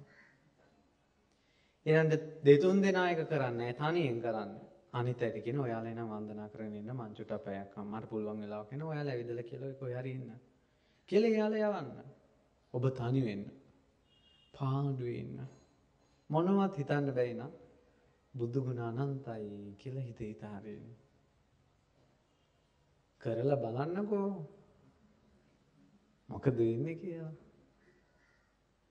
ඉතින් කියලා යවුවා ඒ ප්‍රශ්නයත් විසඳෙයි. අනානුභාවය. එදුර ඒක එහෙම කරලා ඊළඟට තියෙන්නේ වහ වහ ධර්මයේ හැසිරෙන්න ඕන. මොන ආරක්ෂාව කළා. මැරිච්ච ගමන් ආය හටගත්තොත් කෙලවරක් නැහැ. පෙරේ දවසක සිද්ධිය දැනගන්න ලැබුණා. ඉස්කෝලේ ටීචර්ට වැහෙනවා මේ ආච්චි මැරිලා. කියනවා මේක මේක නම් මරා ගන්නවමයි. ඊට පස්සේ ඇහුවා ඇයි මේ එහෙම කරන්නේ කියලා. අපි පම් පෙට්ටිය ඔළුවේ තියාගෙන චීත්ත කෑල්ල ඇඳගෙන ඔහි වැඩ කර කර හිටියා. මේකි මේ සාරිය කියලා එකක් ඇඳගෙන මේ වට එක එක වදාගෙන මේ වටත් එක එක වදාගෙන මේකී රජකුමාරි වගේ හිටපන් මේකිට මං ඉන්න දෙන්න. එතන මොකද්ද මේ? ඉරිසියාව. බවලත් අයගේ. මැරිච්ච උන් කැමති නෑනේ මේ ඉන්නේම හොඳට ඉන්නවන්න.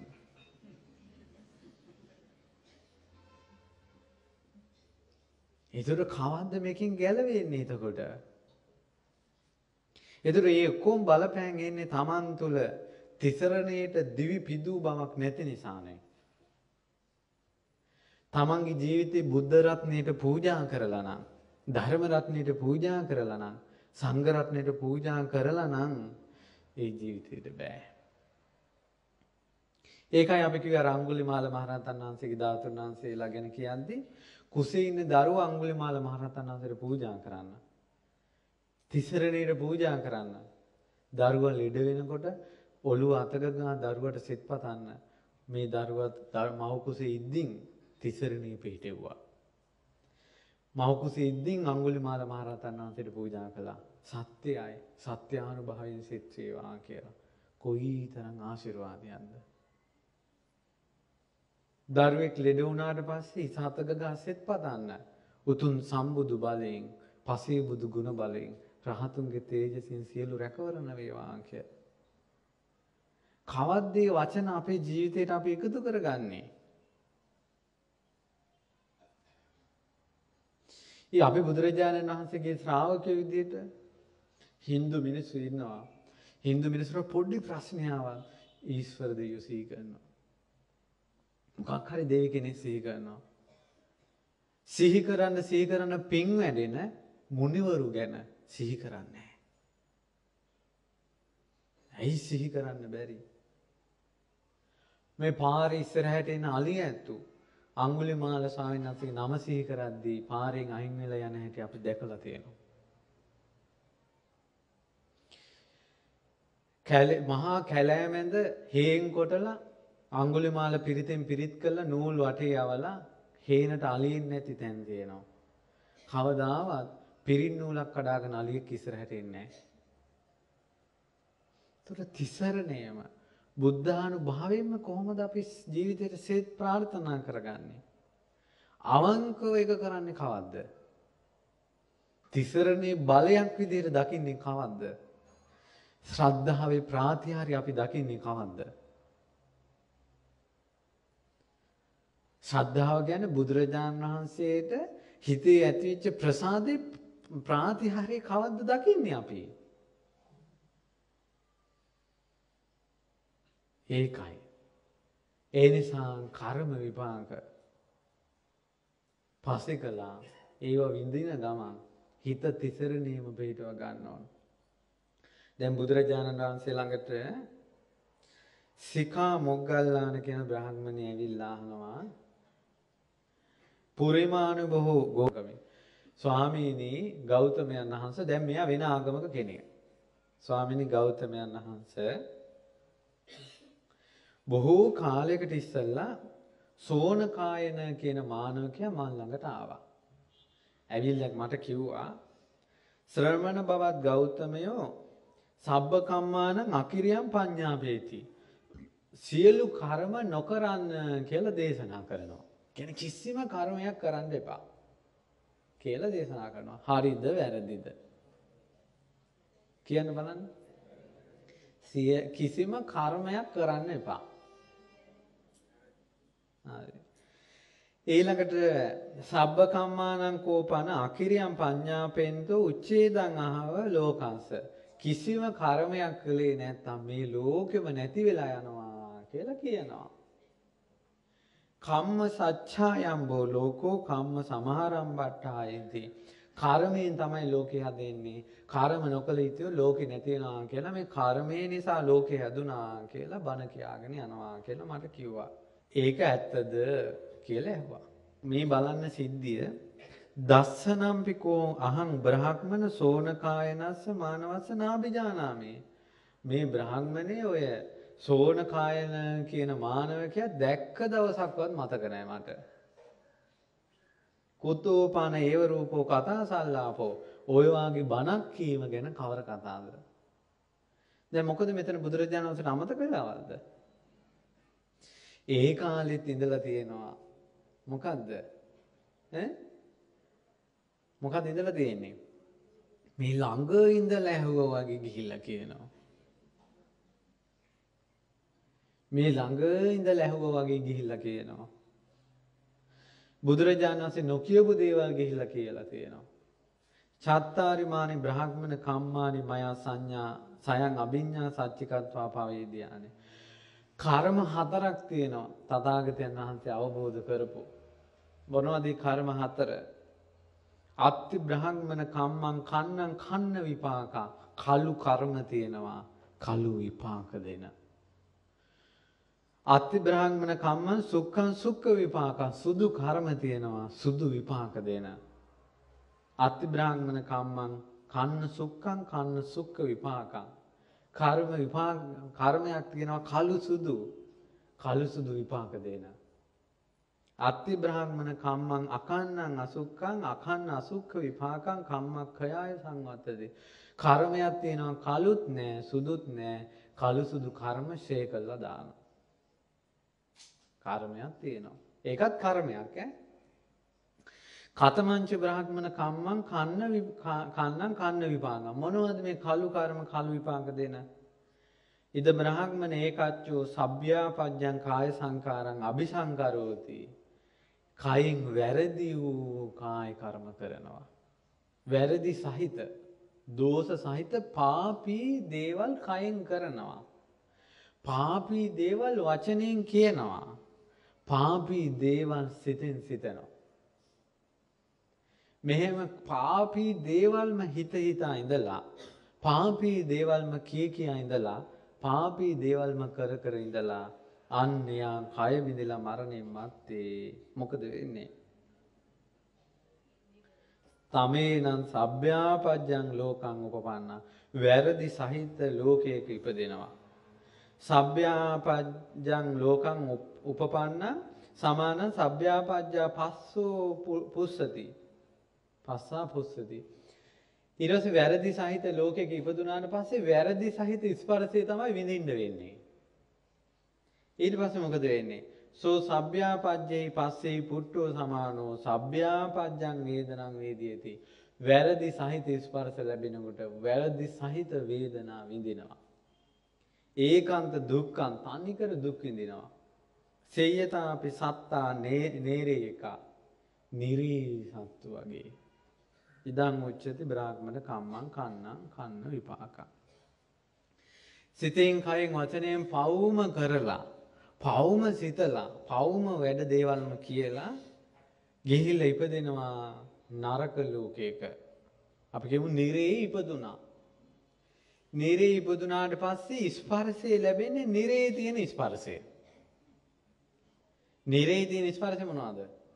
ගින්දර අවියායුධ වලින් පහර කන ඒවා. ඊළඟට යකඩ රෝදවල චප්ප වෙන ඒවා, ගිනි කඳු වල දුවන ඒවා, ඉඹුල් කටු ගහේ නගින ඒවා. ඒවා තමයි ස්පර්ශ වෙන්නේ. දකින්න තියෙන්නේ ඒවා. ඇහෙන්නේ විලාපයමයි ඇහෙන්නේ. ගන් තන්නේ කර ගන්ධය තමයි නහයට දැනෙන්නේ. ඇයි ඒ ලෝකේ ඉපදුනාට පස්සේ ඒ ලෝකේ තියෙන ඒවා. ඊට පස්සේ මොකද වෙන්නේ? ඒ ස්පර්ශ ලැබෙනකොට ඒ වේදනාව විඳිනවා. කරපු කර්මයෙන් හැදෙන විපාක. ආන්න ඒ නිසා අපි දැන් පාපයක් කරලා තිබුණොත් ඒ පාපයට අනුව උපදිනවා. අපි කියමු දුප්පත් ගෙදරක ඉපදුනා කියලා. මනුස්ස ලෝකෙ ඉපදුනොත්. ඊට පස්සේ දුප්පත් ගෙදර තියෙනවා තමයි පැල් කෙටිය. පොඩි වළඳේ මොනවද ටිකක් උයා ගන්න එක. ගෙදර මිනිස්සයාගෙන් බැනුම් අහන එක. අවට මිනිසුන්ගෙන් බැනුම් අහන ඒවා. ඊට පස්සේ නැති බනේ හැමදාම. මොකද්ද? නෑ නෑ නෑ නෑ නෑ. හාල් ටිකක් ගන්න සල්ලි නෑ. රෙදි ටිකක් ගන්න සල්ලි නෑ. ගමනක් බිමනක් යන්න ආසයි සල්ලි නෑ. නෑ නෑ කියන එක හැමදාම ඇහෙන්නේ. ස්පර්ශ වෙන්නේ ඒවා. ඒ ඒ ස්පර්ශයෙන් දුක් විඳිනවා. හරි පුදුමයි. ඒ බලන්න අපි දැන් එක තැනක දුක් විඳින්න බෑ කියලා අපි කියමු රස්සාවේ ප්‍රශ්න කියලා වෙන තැනකට මාරුවක් ගන්නවා. එතනත් ගානට කවුරු හරි එකතු වෙන්නේ නැහැටි. විඳවන්න. කර්ම විපාක. ඕක තමයි කර්ම විපාක. ඊට පස්සේ කියනවා සුදු කර්ම තියෙනවා. ඔය සිතෙන් කය දැන් කළු කර්ම කියන්නේ සත්තු මරනවා, ඉරිසියාව, ක්‍රෝධය, වෛරය, බොරුව, කේලම, හිස් වචනේ, අනිතයිගේ හිත රිදවන හිත රිදවන්න ඕනේ. ඔය ඊයේ සිද්ධියක් වෙලා ඇවිල්ලා දොස්තර නෝනා කෙනෙක් අඬාගෙන ඇවිල්ලා තිබ්බා. කවුද දන්නේ ඒක කළේ? කොහමරි හවස වන්දනාව මෙතන තියෙන වෙලාවේ මං ඒව හොයන්න ගියේ මං වැඩක හිටියේ. වන්දනාව තියෙන වෙලාවේ මේ කවුරු හරි දොස්තර වුණා කෙනෙක් ඉස්සලාම ඇවිල්ලා තියෙන්නේ. පිටිපස්සේ ඉඳගෙන ඉඳලා තියෙනවා බංකුවක. ඊට පස්සේ බුදුන් වැඳ වැඳ ඉද්දීන් ඇඟට තට්ටු කළා කියලා තියෙනවා යනවා යනවා යා පැත්තට. මේකේ බංකු තියන්නේ නැහැ මිට අයිල් හීරෙනවා. කියලා අඬ අඬා ගිහිල්ලා තිබ්බේ. ඇයි මිනිසුන්ගේ හිත හීරෙන එක ගැන හිතන්නේ නැත්තේ? ඇයි මේ භෞතික දෙයට කැමති? මං ඒකයි කියන්නේ මේ මේවට සමහර අය ආසයි අපිටත් වැඩිය. මේකෙම ඉපදෙයි. මේව හදන හාමුදුරුවෝ නිදහස් වෙයි. නේ? ආස කරන්න එපා. හිත රිද්දුනොත් බුද්ධ දේශනාවේ තියෙනවා හන්තා ලබති හන්තාරා. තවත් කෙනෙක් නසන්න හිතන කෙනා කර්ම විපාකයක් විදිහට Taman නසනයි ලෝකෙ බිහි කරගන්නවා. අක්කෝසංච අක්කෝසං. තවත් කෙනෙකුට ආක්‍රෝෂ කරන කෙනාට කර්මාණු රූපව ආක්‍රෝෂ කරන අය බිහි වෙනවා. මේ ලෝකයේ තියෙන ස්වභාවය. අපි එක්කෙනෙකුට ඇඟිල්ල දික් කරනකොට අපිට ඇඟිල්ල දික් කරන්න දාහම් බිහි වෙනවා. මේවා නැසිල වෙනසිල යයි. හිතන්න ඇත්තේ ඇයි. තීරණයකින් එපා. තමන්න ඥානය කියලගත් තියෙන්න බැයි. දැන් අපි මේ සංඝයා තීරණය කරන් තියෙනවා නම් උපාසකම්මලාට වයසයි බිමින්ද ගන්න අමාරු යට පොඩි බංකු ටිකක් දාලා යහ පැත්තේ ඉමු කියලා කට්ටිය ඔක්කොම යහ පැත්තේ ඉන්නවා. අලුතින් ඉත එන අයට ඥානයක් තියෙන්න ඕන ඔක්කොම බංකු දාගෙන යහ පැත්තේ ඉන්නවා නම් ඇයි මං විතරක් මේ පැත්තේ ඉන්නේ? ඒතර යන් ඥානෙ තියෙන්න ඕන ඒක එහා පැත්තේ ගිහිල්ලා ඉන්න. නමුත් බුදුන් වැඳ වැඳ ඉන්නකොට එහෙම කතා කරන්න සුදුසු නෑ.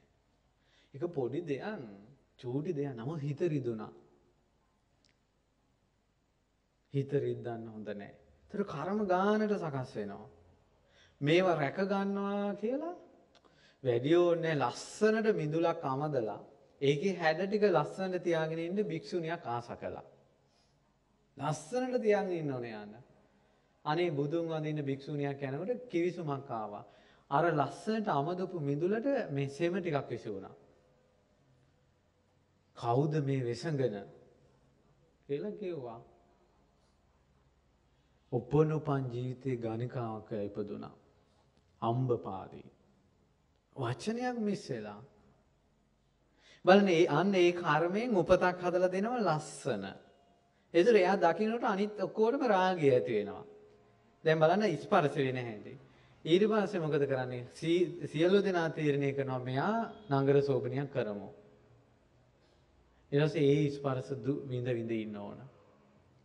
පුදුමයි. පුදුමයි. හරිම භයානකයි.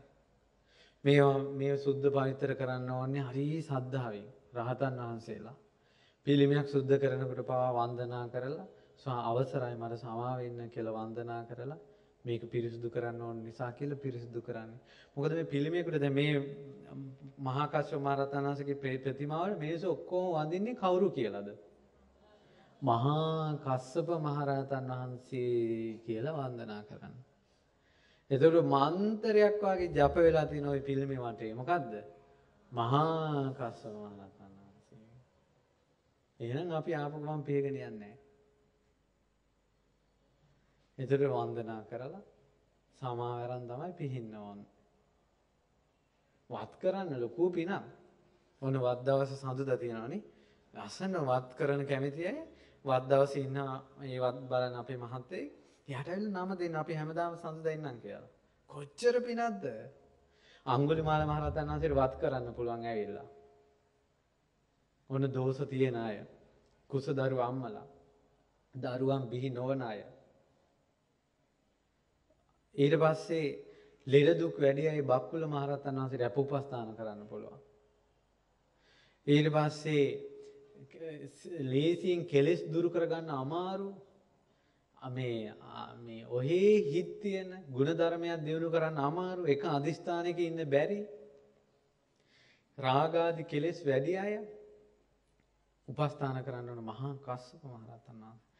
ඥානෙ නැති අය අපි වගේ සාරිපුත්ත මහරහතන් වහන්සේට උපස්ථාන කරනවා.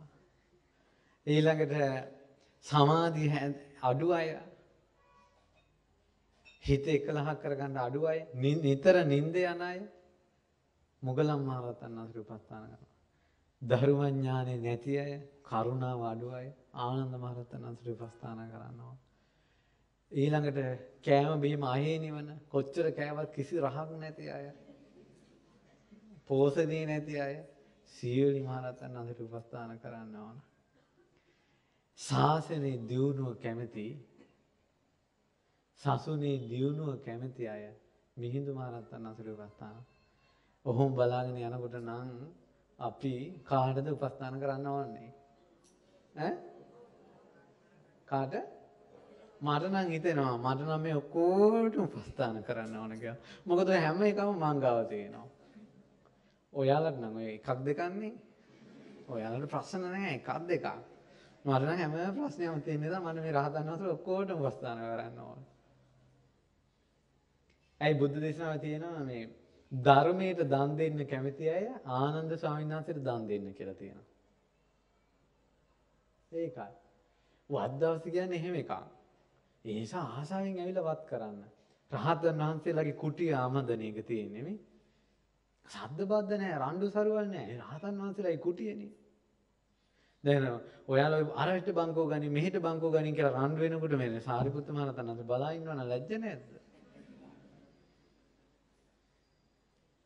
එතකොට ඒ විදිහට වත් කරන්න ලොකු ආශිර්වාදයක්. කොච්චර වත් කළා කොච්චර බැසගෙන හිටියත් හිතේ කෙලෙස් අඩු කරගෙන නැත්තම් බොහෝ අනතුරක් තියෙනවා. ඒකයි. නිසා හිත හොඳට හදාගන්න ඕනේ කර්ම විපාක කියලා එකක් තියෙනවා ඒකයි. මේ හැම වෙලාවෙම සාධාරණ හේතු ගන්න නෑනේ. කියන්නේ හිත කෙලෙසිලා නම් සබ්භ්‍යාපාජ කියන්නේ හිත වැරදියට යොමු වෙලා නම් ඒ කරන එකෙන් දුක් විපාක හැදෙනවා. ඒකාන්ත නිතරම කරන්න පව් නම් ඒකාන්ත දුගතියක උපදිනවා. ඒකාන්ත දුක් තියෙන තැනක මොකක්ද ඒකාන්ත දුක් තියෙන තැන? නිරයේ ඉපදෙනවා. ඊළඟට තියෙනවා තියෙනවා සැප සුක්ඛ කර්ම කියලා කියන්නේ සුදු කර්ම. හොඳ දේවල් කරනවා. කරන්නෙම පින්. සිතෙන්, කයෙන්, වචනෙන්. පින්ම කරලා මොකද වෙන්නේ? සැප සහිත ලෝකෙක ඉපදෙනවා. අපි කියමු දෙව් ලෝකෙ ඉපදෙනවා. ඒ ඉපදුනාට පස්සේ වටේ විරේ දකින්න ලැබෙන සියලු අරමුණු සැප සහිතයි ස්පර්ශ වෙන දේවල්. ඒ නිසා ස්පර්ශ වෙන ඔක්කොම සැප සහිත වුණාට පස්සේ වේදනාව මොන සහිතයිද? සැප සහිතයි. පින්වත් මහණෙනි, ඔහොමයි කිව්ව සුදු කර්ම විපාක. කොයි වගේ දහනවා? සෙය්‍යතා අපි දේවා සුබකින්න සුබකින්න දෙවරුන්ගේ වගේ කියනවා. දැන් සුබකින්න දෙවරුන්ගේ තන්නේ කර සැපේ තියෙන්නේ. දැන් එක්කෙනෙකුට සුවපත් වේවා කියලා හිතනොත් දෙවිවරු ලක්ෂයක් ඉන්නවද ලක්ෂයටම හිතෙනවා සුවපත් වේවා කියලා. ඒ එකම අදහසකට එනවා. එකම අදහසක ඔක්කොම ඉන්නවා නම් ප්‍රශ්නයක්ද? කොච්චර සැපක්ද? ඒ නිසා ඊට පස්සේ මේ දිව්‍ය ලෝකේ තියෙන සියලු සැප ස්පර්ශයන් ලැබෙනවා. පින්වතුනි ඊළඟ එක තමයි සුදු කළු කර්ම දෙකම කරනවා. ඔන්න සුදු කළු කර්ම දෙක තමයි පිනුත් කරනවා ඒක ASCII තව තව ලට්ට ලොට්ට ටිකුත් එකතු කර ගන්නවා. දානෙත් දෙනවා බණින එකත් කරනවා. තේරෙනවනේ? බණත් කියනවා ඒක ASCII බයින් එකත් කරනවා. ඊට පස්සේ ඔය වගේ පිනුයි ඔක්කොම කවලමේ කරනවා. හරියට තියෙන්නේ කවලමේ කරනවද? හරියට තියෙන්නේ 100ක් පින් කරන අය ගත්තොත් 98ක්ම දෙකම කෙරෙනවා. පවත් කෙරෙනවා පිනත් කෙරෙනවා. ඇයි මේ ලස්සනට එයා පිළිවෙලට පූජාවල් ටික හදලා කවුරු හරි පූජාව වෙන පැත්තකින් ගිය ගමන් මොකද කරන්නේ කියලා බයින්න පටන් ගන්නවා. එදුර එයාගේ පුණ්‍ය චේතනාවක් තියෙනවා. අර බැනපු එකේ කර්මය වෙනමත් සකස් වෙනවා. දෙකම කවලම් වෙනවා. පින් කරනවා පින් කරනාස්සේ හිතේ රාග සහිත සිතුවිලි හට ගන්න අවස්ථාවක් තියෙනවා. පින් කරනවා පින් කරන අතරේ තරහා යන ඒවාත් තියෙනවා. පින් කරන අතරේ මෝඩ වැඩත් කරනවා. එතකොට දෙකම මික්ස් වෙනවා. එතකොට හොඳ සුදු කළු කර්ම දෙකම එකට මික්ස් වුණාට පස්සේ විපාක හැදෙනවා සුදු කළු කර්ම දෙකම විපාක විඳින විදිහට. කියන්නේ හොඳයි නරකයි දෙකම ලැබෙනවා. කොහේ කොහේ වාගේද? ඈ? මනුස්ස ලෝකේ දිව්‍ය ලෝක. දෙවියන්ගෙත් තියෙනවානේ ප්‍රශ්න. සක්කරයත් යුද්ධෙට යනවානේ. යුද්ධෙට ගිහිල්ලා දිනනකොට පෙරදිනකොට දුක සැප හට ගන්න නැද්ද? අපි මනුස්ස ලෝකේ ගමුකෝ. එහෙනම් අපි මනුස්ස ලෝකේ ඉපදිලා තියෙන්නේ සුදු කළු කර්ම දෙකම කරලා. ඒ කියන්නේ හොඳත් අපේ අතින් වෙලා තියෙනවා නරකත් වෙලා තියෙනවා. එහෙනම් අපි මේ මනුස්ස ලෝකේ සැපත් විඳිනවා දුකත් විඳිනවා. අපි හිතුවොත් එහෙම අනේ මට ඇයි මේ දුකම එන්නේ? ඇයි මට සැපක් නැද්ද කියලා සැප විතරක් පතනවා නම් එයාගේ ඥානෙ තියනවද? මනුස්ස ලෝකෙ ඉපදුනේ දෙකම කරලා දෙකම එහෙනම් දෙකම විඳින්න වෙනවා. ඇයි ඔයාලා කොච්චර අඬලා තියෙනවද? කොච්චර අභූත චෝදනාවට ලක් වෙලා තියෙනවද? කොච්චර ගැරහුම් ලැබලා තියෙනවද? කොච්චර හිත රිදිලා තියෙනවද අනිත් අය නිසා? ඒක දුක. සැප මොකක්ද? කල්යාණ මිත්‍ර සම්පත්තිය ලැබිලා. ශ්‍රී සද්ධර්ම ශ්‍රවණී ලැබිලා. පින් කරගන්න ඕන තරම් අවස්ථා. සෑයි බෝධිය ගුණ කියලා රහතුන් වහන්සේලා ගුණ කියනකොට ඇස් වලින් කඳුළු වැටෙනවා ප්‍රීතිය උපදිනවා. සසරේ පින පිනත් විඳිනවා. අන් දුකක් වුණා කොච්චර දුක් වුණත් මොහොතකට හරි අමතක කරලා බණපදයක් අහන්න දෙනවා. ඒක පිනක්. ඊළ සමහර අයගේ දරුමාල් ඔක්කොම එකට එකම ධර්මාසනයක බණ අහනවා. පිනක්. පින් කරමු කියනකොට සියලු දෙනා එකතුව පින් කරනවා. පිනක්. සෑයවල් වලින් බුදුරැස් විහිදෙනවා. දකිනවා. පිනක්. දැන් මයංගනේ චෛත්‍යරාජානන් වහන්සේ කංචුක ගණනාවකින් සරසලා වන්දනා කළා. මහත් වූ ප්‍රාතිහාර්ය සිද්ධ වෙන්න පටන් ගත්තා සෑමලුවේ. ඉතින් රැය එළිවෙනකල් පින්වතුන් වන්දනමාන කළා. ඒතර බුද්ධ ශාසනයක ඒ වගේ දේවල් දකින්නවා කියන එක පිනක්. ඉදිරියට රහතුන් වහන්සේලාගේ ධාතුන් වහන්සේලා මේ බලන්න මේ අරහන්ත මණ්ඩපය රහතන් වහන්සේලා වෙනුවෙන් ඉදුණ ප්‍රාසාදයක් දැකලා වත් පිළිවෙක් කරගෙන වැදලා පුදලා පින් කරගන්නවා පිනක්. ඒවත් විපාක විඳිනවා. ඒක ASCII තව තව ඒවා. අම්මලාගේ ප්‍රශ්න, තාත්තලාගේ ප්‍රශ්න, තමන් ප්‍රියමනාප අය කරදරයටපත් වෙනවා. එතන ප්‍රශ්න. තමන් ආදරය කරන අය තමාව දාලා යනවා. එතන ප්‍රශ්න.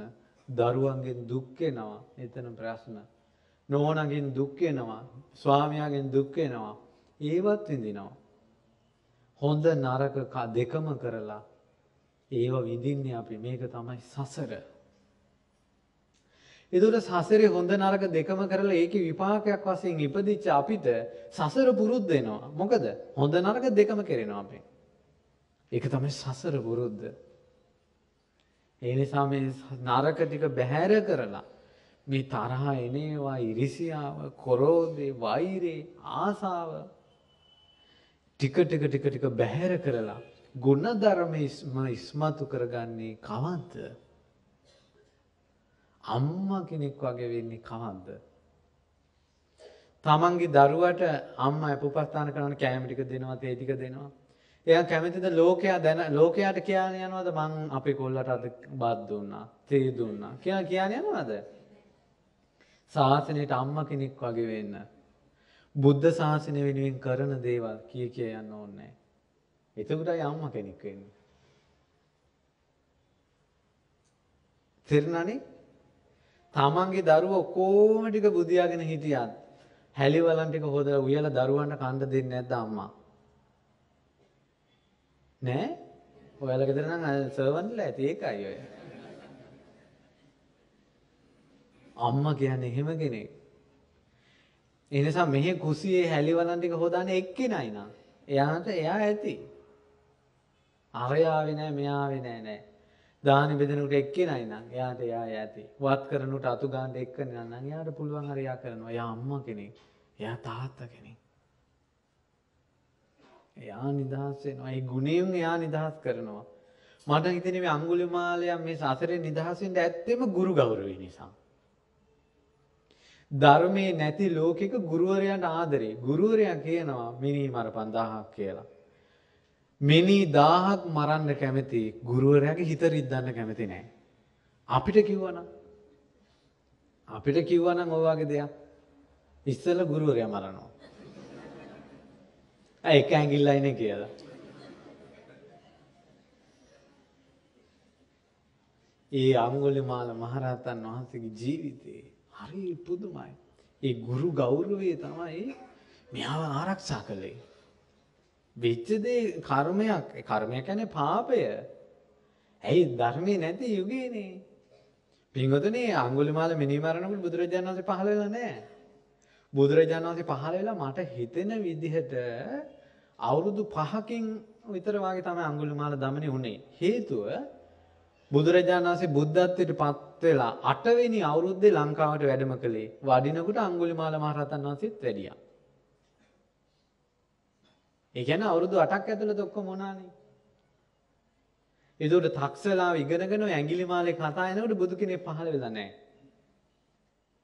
ඊළඟට ගුරු ගෞරවය හරි බුදුමයි. ඊළඟට බුදුරජාණන් වහන්සේගේ දමනය අඟුලිමාල කඩුව ඔස්සගෙන මේ මීටර් 100ක් දුවනකොටම අඟුලිමාල නවතින්නේ කියවන නවතින්නේ නැහැ. කොච්චර දුවලා තියෙනවද? යොදුන් 3ක් දුවලා තියෙනවා. මේ ඒ යොදුන් තුන කියන එක මම හිතේ අටුවා පොත්වල විස්තර කරලා තියෙනවා ලංකාවේ මේ පැත්තේ කෙළවරේ ඉඳලා එහා පැත්තේ කෙළවරට එනකම්. දුවල එච්චර දුවන්නේ ඒ යොදුන් දෙකක් දුවද්දින්වත් හිතෙන්නේ මට මෙයා අල්ලගන්න බෑ කියලා හිතෙන්නේ. ඒ කියන්නේ තමාටම තැන දීලා මට පුළුවන් කියලා. තේරුණානේ? ඇයි ඉතින් මගදින් හිතුණා නම් මෙයා මට අත අල්ලන්න බෑ කියලා නවතින්නේ නැද්ද? යොදුන් තුනක් දුවලා නතර වුණේ. බිම නිකන් මේ කැරකෙනවා එකම තැන. එකම තැන දුවනවා. යොදුන් තුනක් ගියාට පස්සේ හිතුනේ මෙයාව මට අල්ලන්න බෑ කියලා. තමන් පුංචි කෙනෙක් කියලා එතනදී තමයි හිතුනේ.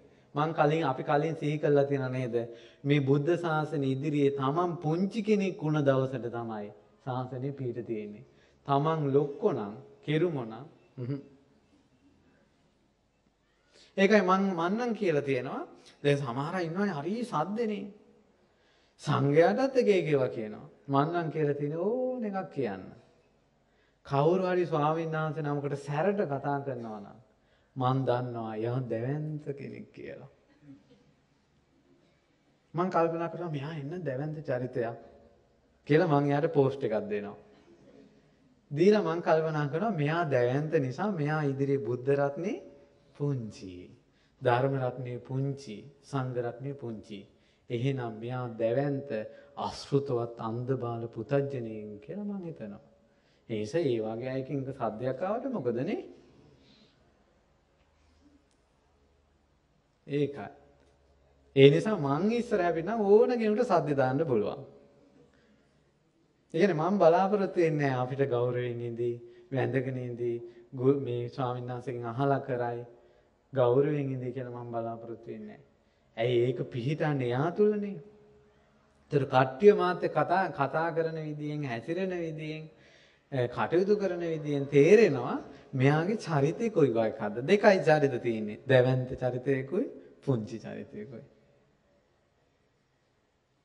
ඒකයි. ඉතින් ඒ නිසා අර කර්ම විපාක ගැන එන්න ඕන. මේ මනුස්ස ජීවිතය ගැන තේරුම් ගන්න ඕන. ඒතර දුක් විඳිනවා කියන එක අපි ලබා උපන්කම් ඒක විඳපු ආවේ විඳ විඳ අවබෝධ කරන්න ඕන වේදනියන් දට්ඨබ්බා නිසා කඳුළු පිහදා පිහදා බුදුගුණ සිහි කරන්න. කඳුළු පිහද පිහදා අඬනේ අඬන ගමන් සිල් රකින්න. ඒක තමයි මේ සසර. බුද්ධ ශාසනයෙන් ඒ තරම් ඈතක අපි ඉපදුනේ. අපි පිනත් ඒ තරම් ඈත් වෙච්ච නිසා. පින ලංවනානන් බුදුරජාණන් වහන්සේගේ සමය උපදිනවා. ඒනිසා ඉතින් මොනව කරන්නද. ඒ ස්පාරස විඳීමෙන් තමයි අවබෝධ කරන්න තියෙන්නේ. හොඳට ගන්න හිතට ගුණ ධරම. සාදරයෙන් ගෞරුවෙන් බුදුරජාණන් වහන්සේලාට රහතන් වහන්සේලාට සත්කාර සම්මාන කරන්න. චෛතරාජාණන් වහන්සේලා බෝධීන් වහන්සේලා හොඳට වඳන්න. ගුණ සිහි කරන්න. එතකුට මේ දුක් ගෙවිල යයි. විඳිනේව ඉඳපු ආවේ. වෙන ප්‍රශ්න වලට මුහුණ දිදී ඉන්න කඳුළු පිහද පියදා හරි මුහුණ දෙන්න. වැටෙන්න එපා මේ මානසිකව. ඉතින් ටික එහෙම තමයි මේ ජීවිතේ තියෙන්නේ. ඒක තමයි සසර. කර්මයක් තියෙනවා කළුත් නොවන සුදුත් නොවන කර්ම. කළු සුදු නොවන විපාක ගෙනලා දෙනවා මොනවද? తත්‍ර බ්‍රහ්මන යමිදං කම්මං කන්න කන්නං කන්න විපාකං තස්ස පහනාය යා චේතනා තමන්ගෙන් පවක් වෙනවා. එයා කල්පනා කරනවා මේ පාප කර්මේ මං ගෙවන්න ඕන කියලා. මේකෙන් නැගී හිටින්න ඕන කියලා පාප කර්මේ ගෙවන්න කල්පනා කරනවා. අන්න ඒ ගෙවන්න කල්පනා කරනකොටත් කර්මයක් රැස් වෙනවා. දැන් අපි කියමු සත්තු මරනවා කියලා. මේ සත්තු මරණ එක නතර කරන්න මෙයා කල්පනා කරනවා. කල්පනා කරනකොට කර්මයක් සකස් වෙනවා. ඒ කර්මයෙන් කරන්නේ කර්මේ ඡය කරනවා. කර්මය ෂේ කරලා දානවා. තව විස්තර කරන්න. පුණ්‍ය සංස්කාරයක් තියෙනවා. පුණ්‍ය සංස්කාරයෙන් ඡය කරන්න කල්පනා කරනවා. එතකොට කර්මයක් හැදෙනවා. ඒ කර්මයෙන් කර්මය ඡය වෙනවා. කළු සුදු කර්ම තියෙනවා. ඒ කළු සුදු කර්ම ඡය කරන්න කල්පනා කරනවා. එතකොට කර්මය ඡය වෙනවා. උදාහරණයක් අනිත්‍ය සිහි කරනවා.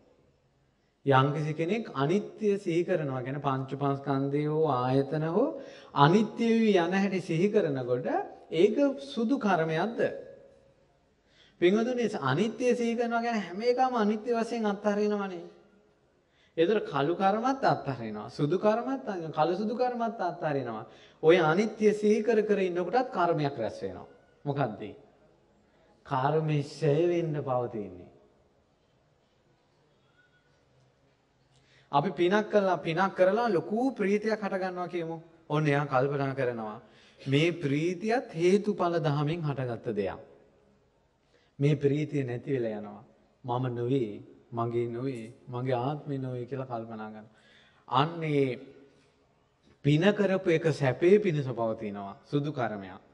අර අනිත්‍ය සිහි කරපු එක කර්මයේ ෂේ කළා දාන්න බලපාන. එතකොට ඒ කර්මයෙන් එහෙම එකක්. එතකොට යම්කිසි කෙනෙක් සක්කාය පංච උපාස්කන්ධය අනිත්‍ය වශයෙන් දැක්කද? දුක් වශයෙන් දැක්කද? අනාත්ම වශයෙන් දැක්කද සත්‍ය ඥානයට ආව කියමු සෝහන් වුණා කියමුකෝ. ජීවිත හතක් ඉපදෙන්න හැර සියලු කර්ම ශේ කළා දානවා. ඒ හිතන ඒ දකින කර්මයෙන් කර්මයෙන් කර්මයකින් ශේ කළා දානවා. මේ අනිත්‍ය වූ දුක්ඛ වූ අනාත්ම වූ සියල්ල අනිත්‍ය වශයෙන්ම දුක් වශයෙන්ම අනාත්ම වශයෙන් සත්‍ය ඥාන කෘත්‍ය ඥාන පෘථග්ඥාන වශයෙන් සම්පූර්ණයෙන්ම පරිපූර්ණ වශයෙන්ම කෙනෙක් අවබෝධ කරනකොට දකිනකොට කර්මයක් හැදෙනවා. ඒ කර්මෙන් සියලු කර්ම සේ වෙනවා.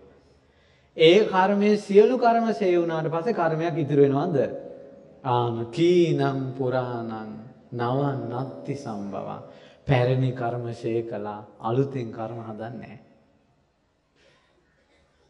විරත්ත චිත්ත ආයතිකෝ භවස්මින් භවයට ආය හිත ඇලෙන්නේ මේ පහනක් නිවිලා යනවාගේ ඒ රහතන් වහන්සේලා පිරිනවම් පානවා. කම්මක්කයාය කර්මයේ ශ්‍රේවීම පිණිස පවතින කර්මය කියන්නේ අනිත්‍ය සිහි කිරීම. ඒතර මේකෙන් තේරෙනවා කර්මයේ රැස් නොවන මොහොතක් තියෙනවද? හැම වෙලාවෙම කර්මය අනිත්‍ය වඩනකොට කර්මයක් රැස් වෙනවා. ඒ කර්මය මොකද්ද? ඈ කර්මයේ සේවීම පිණිස කර්මයක් සකස් වෙනවා. හරි අගේ මේ දේශනාව. දැන් අහනවා කට්ටිය කර්මය අනිත්‍ය වඩනකොටත් පින් පින් සිද්ධ වෙනවනේ කියලා. මේ අවබෝධ කළා වගේ. ඉතින් ඒ නිසා ඒ මෙහෙම නෙවෙයි. ඇත්තටම පින් කරනකොට සැප විපාක හැදෙනවා. පව් කරනකොට දුක් විපාක හැදෙනවා. පින් පව් දෙකම කරනකොට දෙකම හට ගන්නවා.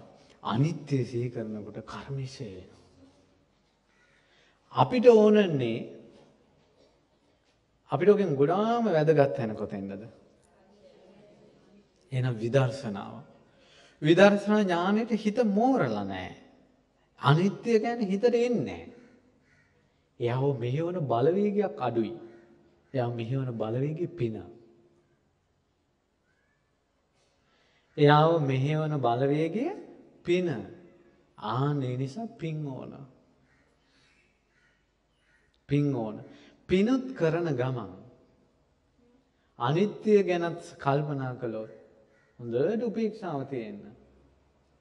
දැන් අර අම්මගේ සිද්ධිය දැකලා අසුපේ අය මාත් එක්ක ඇවිල්ලා කතා කළා නේ අර අම්මා මනුස්ස ප්‍රශ්නේ හරියට දුක් විඳිනවා කියලා අඬලා කතා කරනවා මං කෝ එහෙම දෙයක් නැහැ. ඒ මිනිස්සු පව් කියලා මෛත්‍රියෙන් ඉන්න. ඒ මිනිසුන්ගේ දුකක් ඇති වුණාම පපු උණු වෙන්න ඕන පව මේ මිනිස්සු දුක් විඳිනවා කියලා. මේ මිනිස්සු මේ ප්‍රශ්න වලින් නැගී හිටිනවා නම් හොඳයි කියලා මුදිතාව තියෙන්නත් ඕන. තව එකකුත් ඕන. මොකද්ද? සසරේ දේවල් මේ විඳින්නේ කියලා. දැන් ඔය අම්මා අමනුෂ්‍ය ප්‍රශ්නයෙන් විඳින පාපේ කරපු විදිය මම දැක්කනම් මට හිතෙනවා යසයි කියලා. හිතෙන්නේ නැද්ද? ඔය විදියට විඳවන්න අපි කියමු එයා කලින් ජීවිතේ මන්තරකාරයෙක් කියලා. අහිංසක මිනි මිනිස්සෙක්ගේ ඇඟට මාමනුස්සයෙක් දාලා අහිංසක මිනිස්සු මිනිස්සයා විඳවෙව්වා ගේමුකෝ. එහෙමනම් අද ජීවිතේ අම්මා එකට පත්වීම සාධාරණයිද අසාධාරණයිද? කර්මයේ දායාද කරගෙන ඉන්නේ කියලා හිතන්න ඕන. එතකොට උපේක්ෂාවට පත් වෙනවා. නැත්තම් මේ මිනිසුන්ගේ ප්‍රශ්න ඇහුවොත් එහෙම අඬා අඬා ඉන්න වෙන්නේ අපිට. ඔයාලා අඬනකොට අපි හරිනාල වෙනවා අපි අඬනකොට. ඒ නිසා මිනිසුන්ගේ දුක් ගැන වෙලි තියෙද්දි හිතන්න කර්මයේ දායාද කරගෙන ඉන්නේ කියලා. එයා ළඟට ගිහිල්ලා කියන්න එපා ඔයා විඳින විදිය දැක්කනම් යසයි කියලා හිතෙනවා කියලා. එහෙම නෙවෙයි. අපේ හිත හදාගන්න තමයි අරමුණු ගන්නෙ. කාගේ හිතද හදාගන්නේ? ධර්මයේ නැමැති කණ්ණාඩිය කාගේ පැත්තටද හරවගන්නේ? ආ. ඒ කණ්ණාඩිය තමන්ගේ පැත්තට හරවන්නේ. තමන්ගේ කණ්ණාඩියෙන් කවුද පේන්නේ? තමන් විතරයි. තමන්ගේ කණ්ණාඩියෙන් තමන් විතරක් දැක්කම ඇති. අනිත් අය ඕනේ ඒකෙන් දකින්න. ඒ ධර්මයේ කියන සංගරුවණක් ඉන්නවා. කල්යාණ මිත්‍ර සේවනයක් තියෙනවා. ධර්ම ප්‍රචාරයක් තියෙනවා. ඒ ඒතකොට ඒ ධර්ම දහම්සක කරග කරග යයි. තමන් අමුතුවෙන් හිතන්න ඕනේ නැහැ. ලැබිච්ච අවස්ථාවෙන් ප්‍රයෝජනේ තමන් ගන්න ඕන. නැත්නම් අපිට මේවා අහිමි වෙලා යයි. ඒ නිසා බුදුරජාණන් වහන්සේ වදාලා ඉමානිකෝ බ්‍රහ්මන චත්තාරි කම්මානි මයා සයන් අභිඤ්ඤා සච්චිකත්වා පවිය. ඕක තමයි බුදුරජාණන් වහන්සේ ශම්භූත ඥාණයෙන් අවබෝධ කරගත්ත කර්මය. මොනද ඒ කර්මය? කළු කර්ම තියෙනවා කළු විපාක දෙන.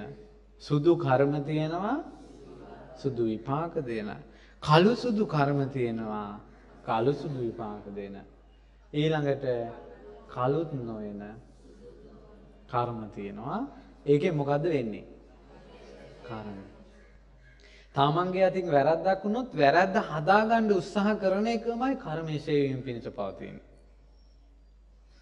අපි ගමු බැරි වෙලාවත් අපි අතින් සතෙක් මැරුණා කියලා ඒ පාවෙන් අපිට නිදහස් වෙන්න ඕනේ නම් ඒ ප්‍රාණඝාතයෙන් වැළකෙන්න උත්සාහ කරන්න ඕනේ. ඒකට අර කර්මය ඈතට යනවා. ඈතට ගිහිලා කර්මයේ ශේවීම පිණිස පවතින කර්ම ඉස්මතු වෙනවා. ඒ නිසායි බුද්ධ ශාසනයේ අවසාන මොහොත දක්වාම උත්සාහ කරන්න පුළුවන්. අවසාන මොහොත දක්වාම කෙනෙකුට ගැලවෙන්න උත්සාහ කරන්න පුළුවන්. වැරදි කරන ජීවිතයට යොමු වෙලා හිටියනම් අද ඉඳලා පුළුවන් ගැලවෙන්න. අර ඔක්කොම ටික අමතක කරලා අලුත් කෙනෙක් විදිහට මේ ජීවිතේට මුහුණ දෙන්න. ඔක්කොම අමතක කරලා දාන්න. ඔයාලා මිනි 1000ක් මරලා නැහැ. හාමුදුරන්ගේ පාත්‍ර බිඳලා නැහැ. සිවුරු ඉරලා නැහැ. නේ? ඊළඟ නගර සෝබනිය විදිහට ඉඳලා නැහැ. ඊළඟට ඇඳිවත නැතුව පිස්සු හැදිලා ගියේ නැහැ. දරුවෙක් මැරුණාට පස්සේ වඩාගෙන ගියක් ගියක් ගානේ ගියේ නැහැ පණ දෙන්න කියලා. එහෙම හිටපු අය ශාසනයෙන් පිහිට ගත්තා නම් නේ? ඒකයි. ඒ නිසා ගෞතම බුදු සසුනේ සනාතන පිළිසරණ ලැබේවා. සා සා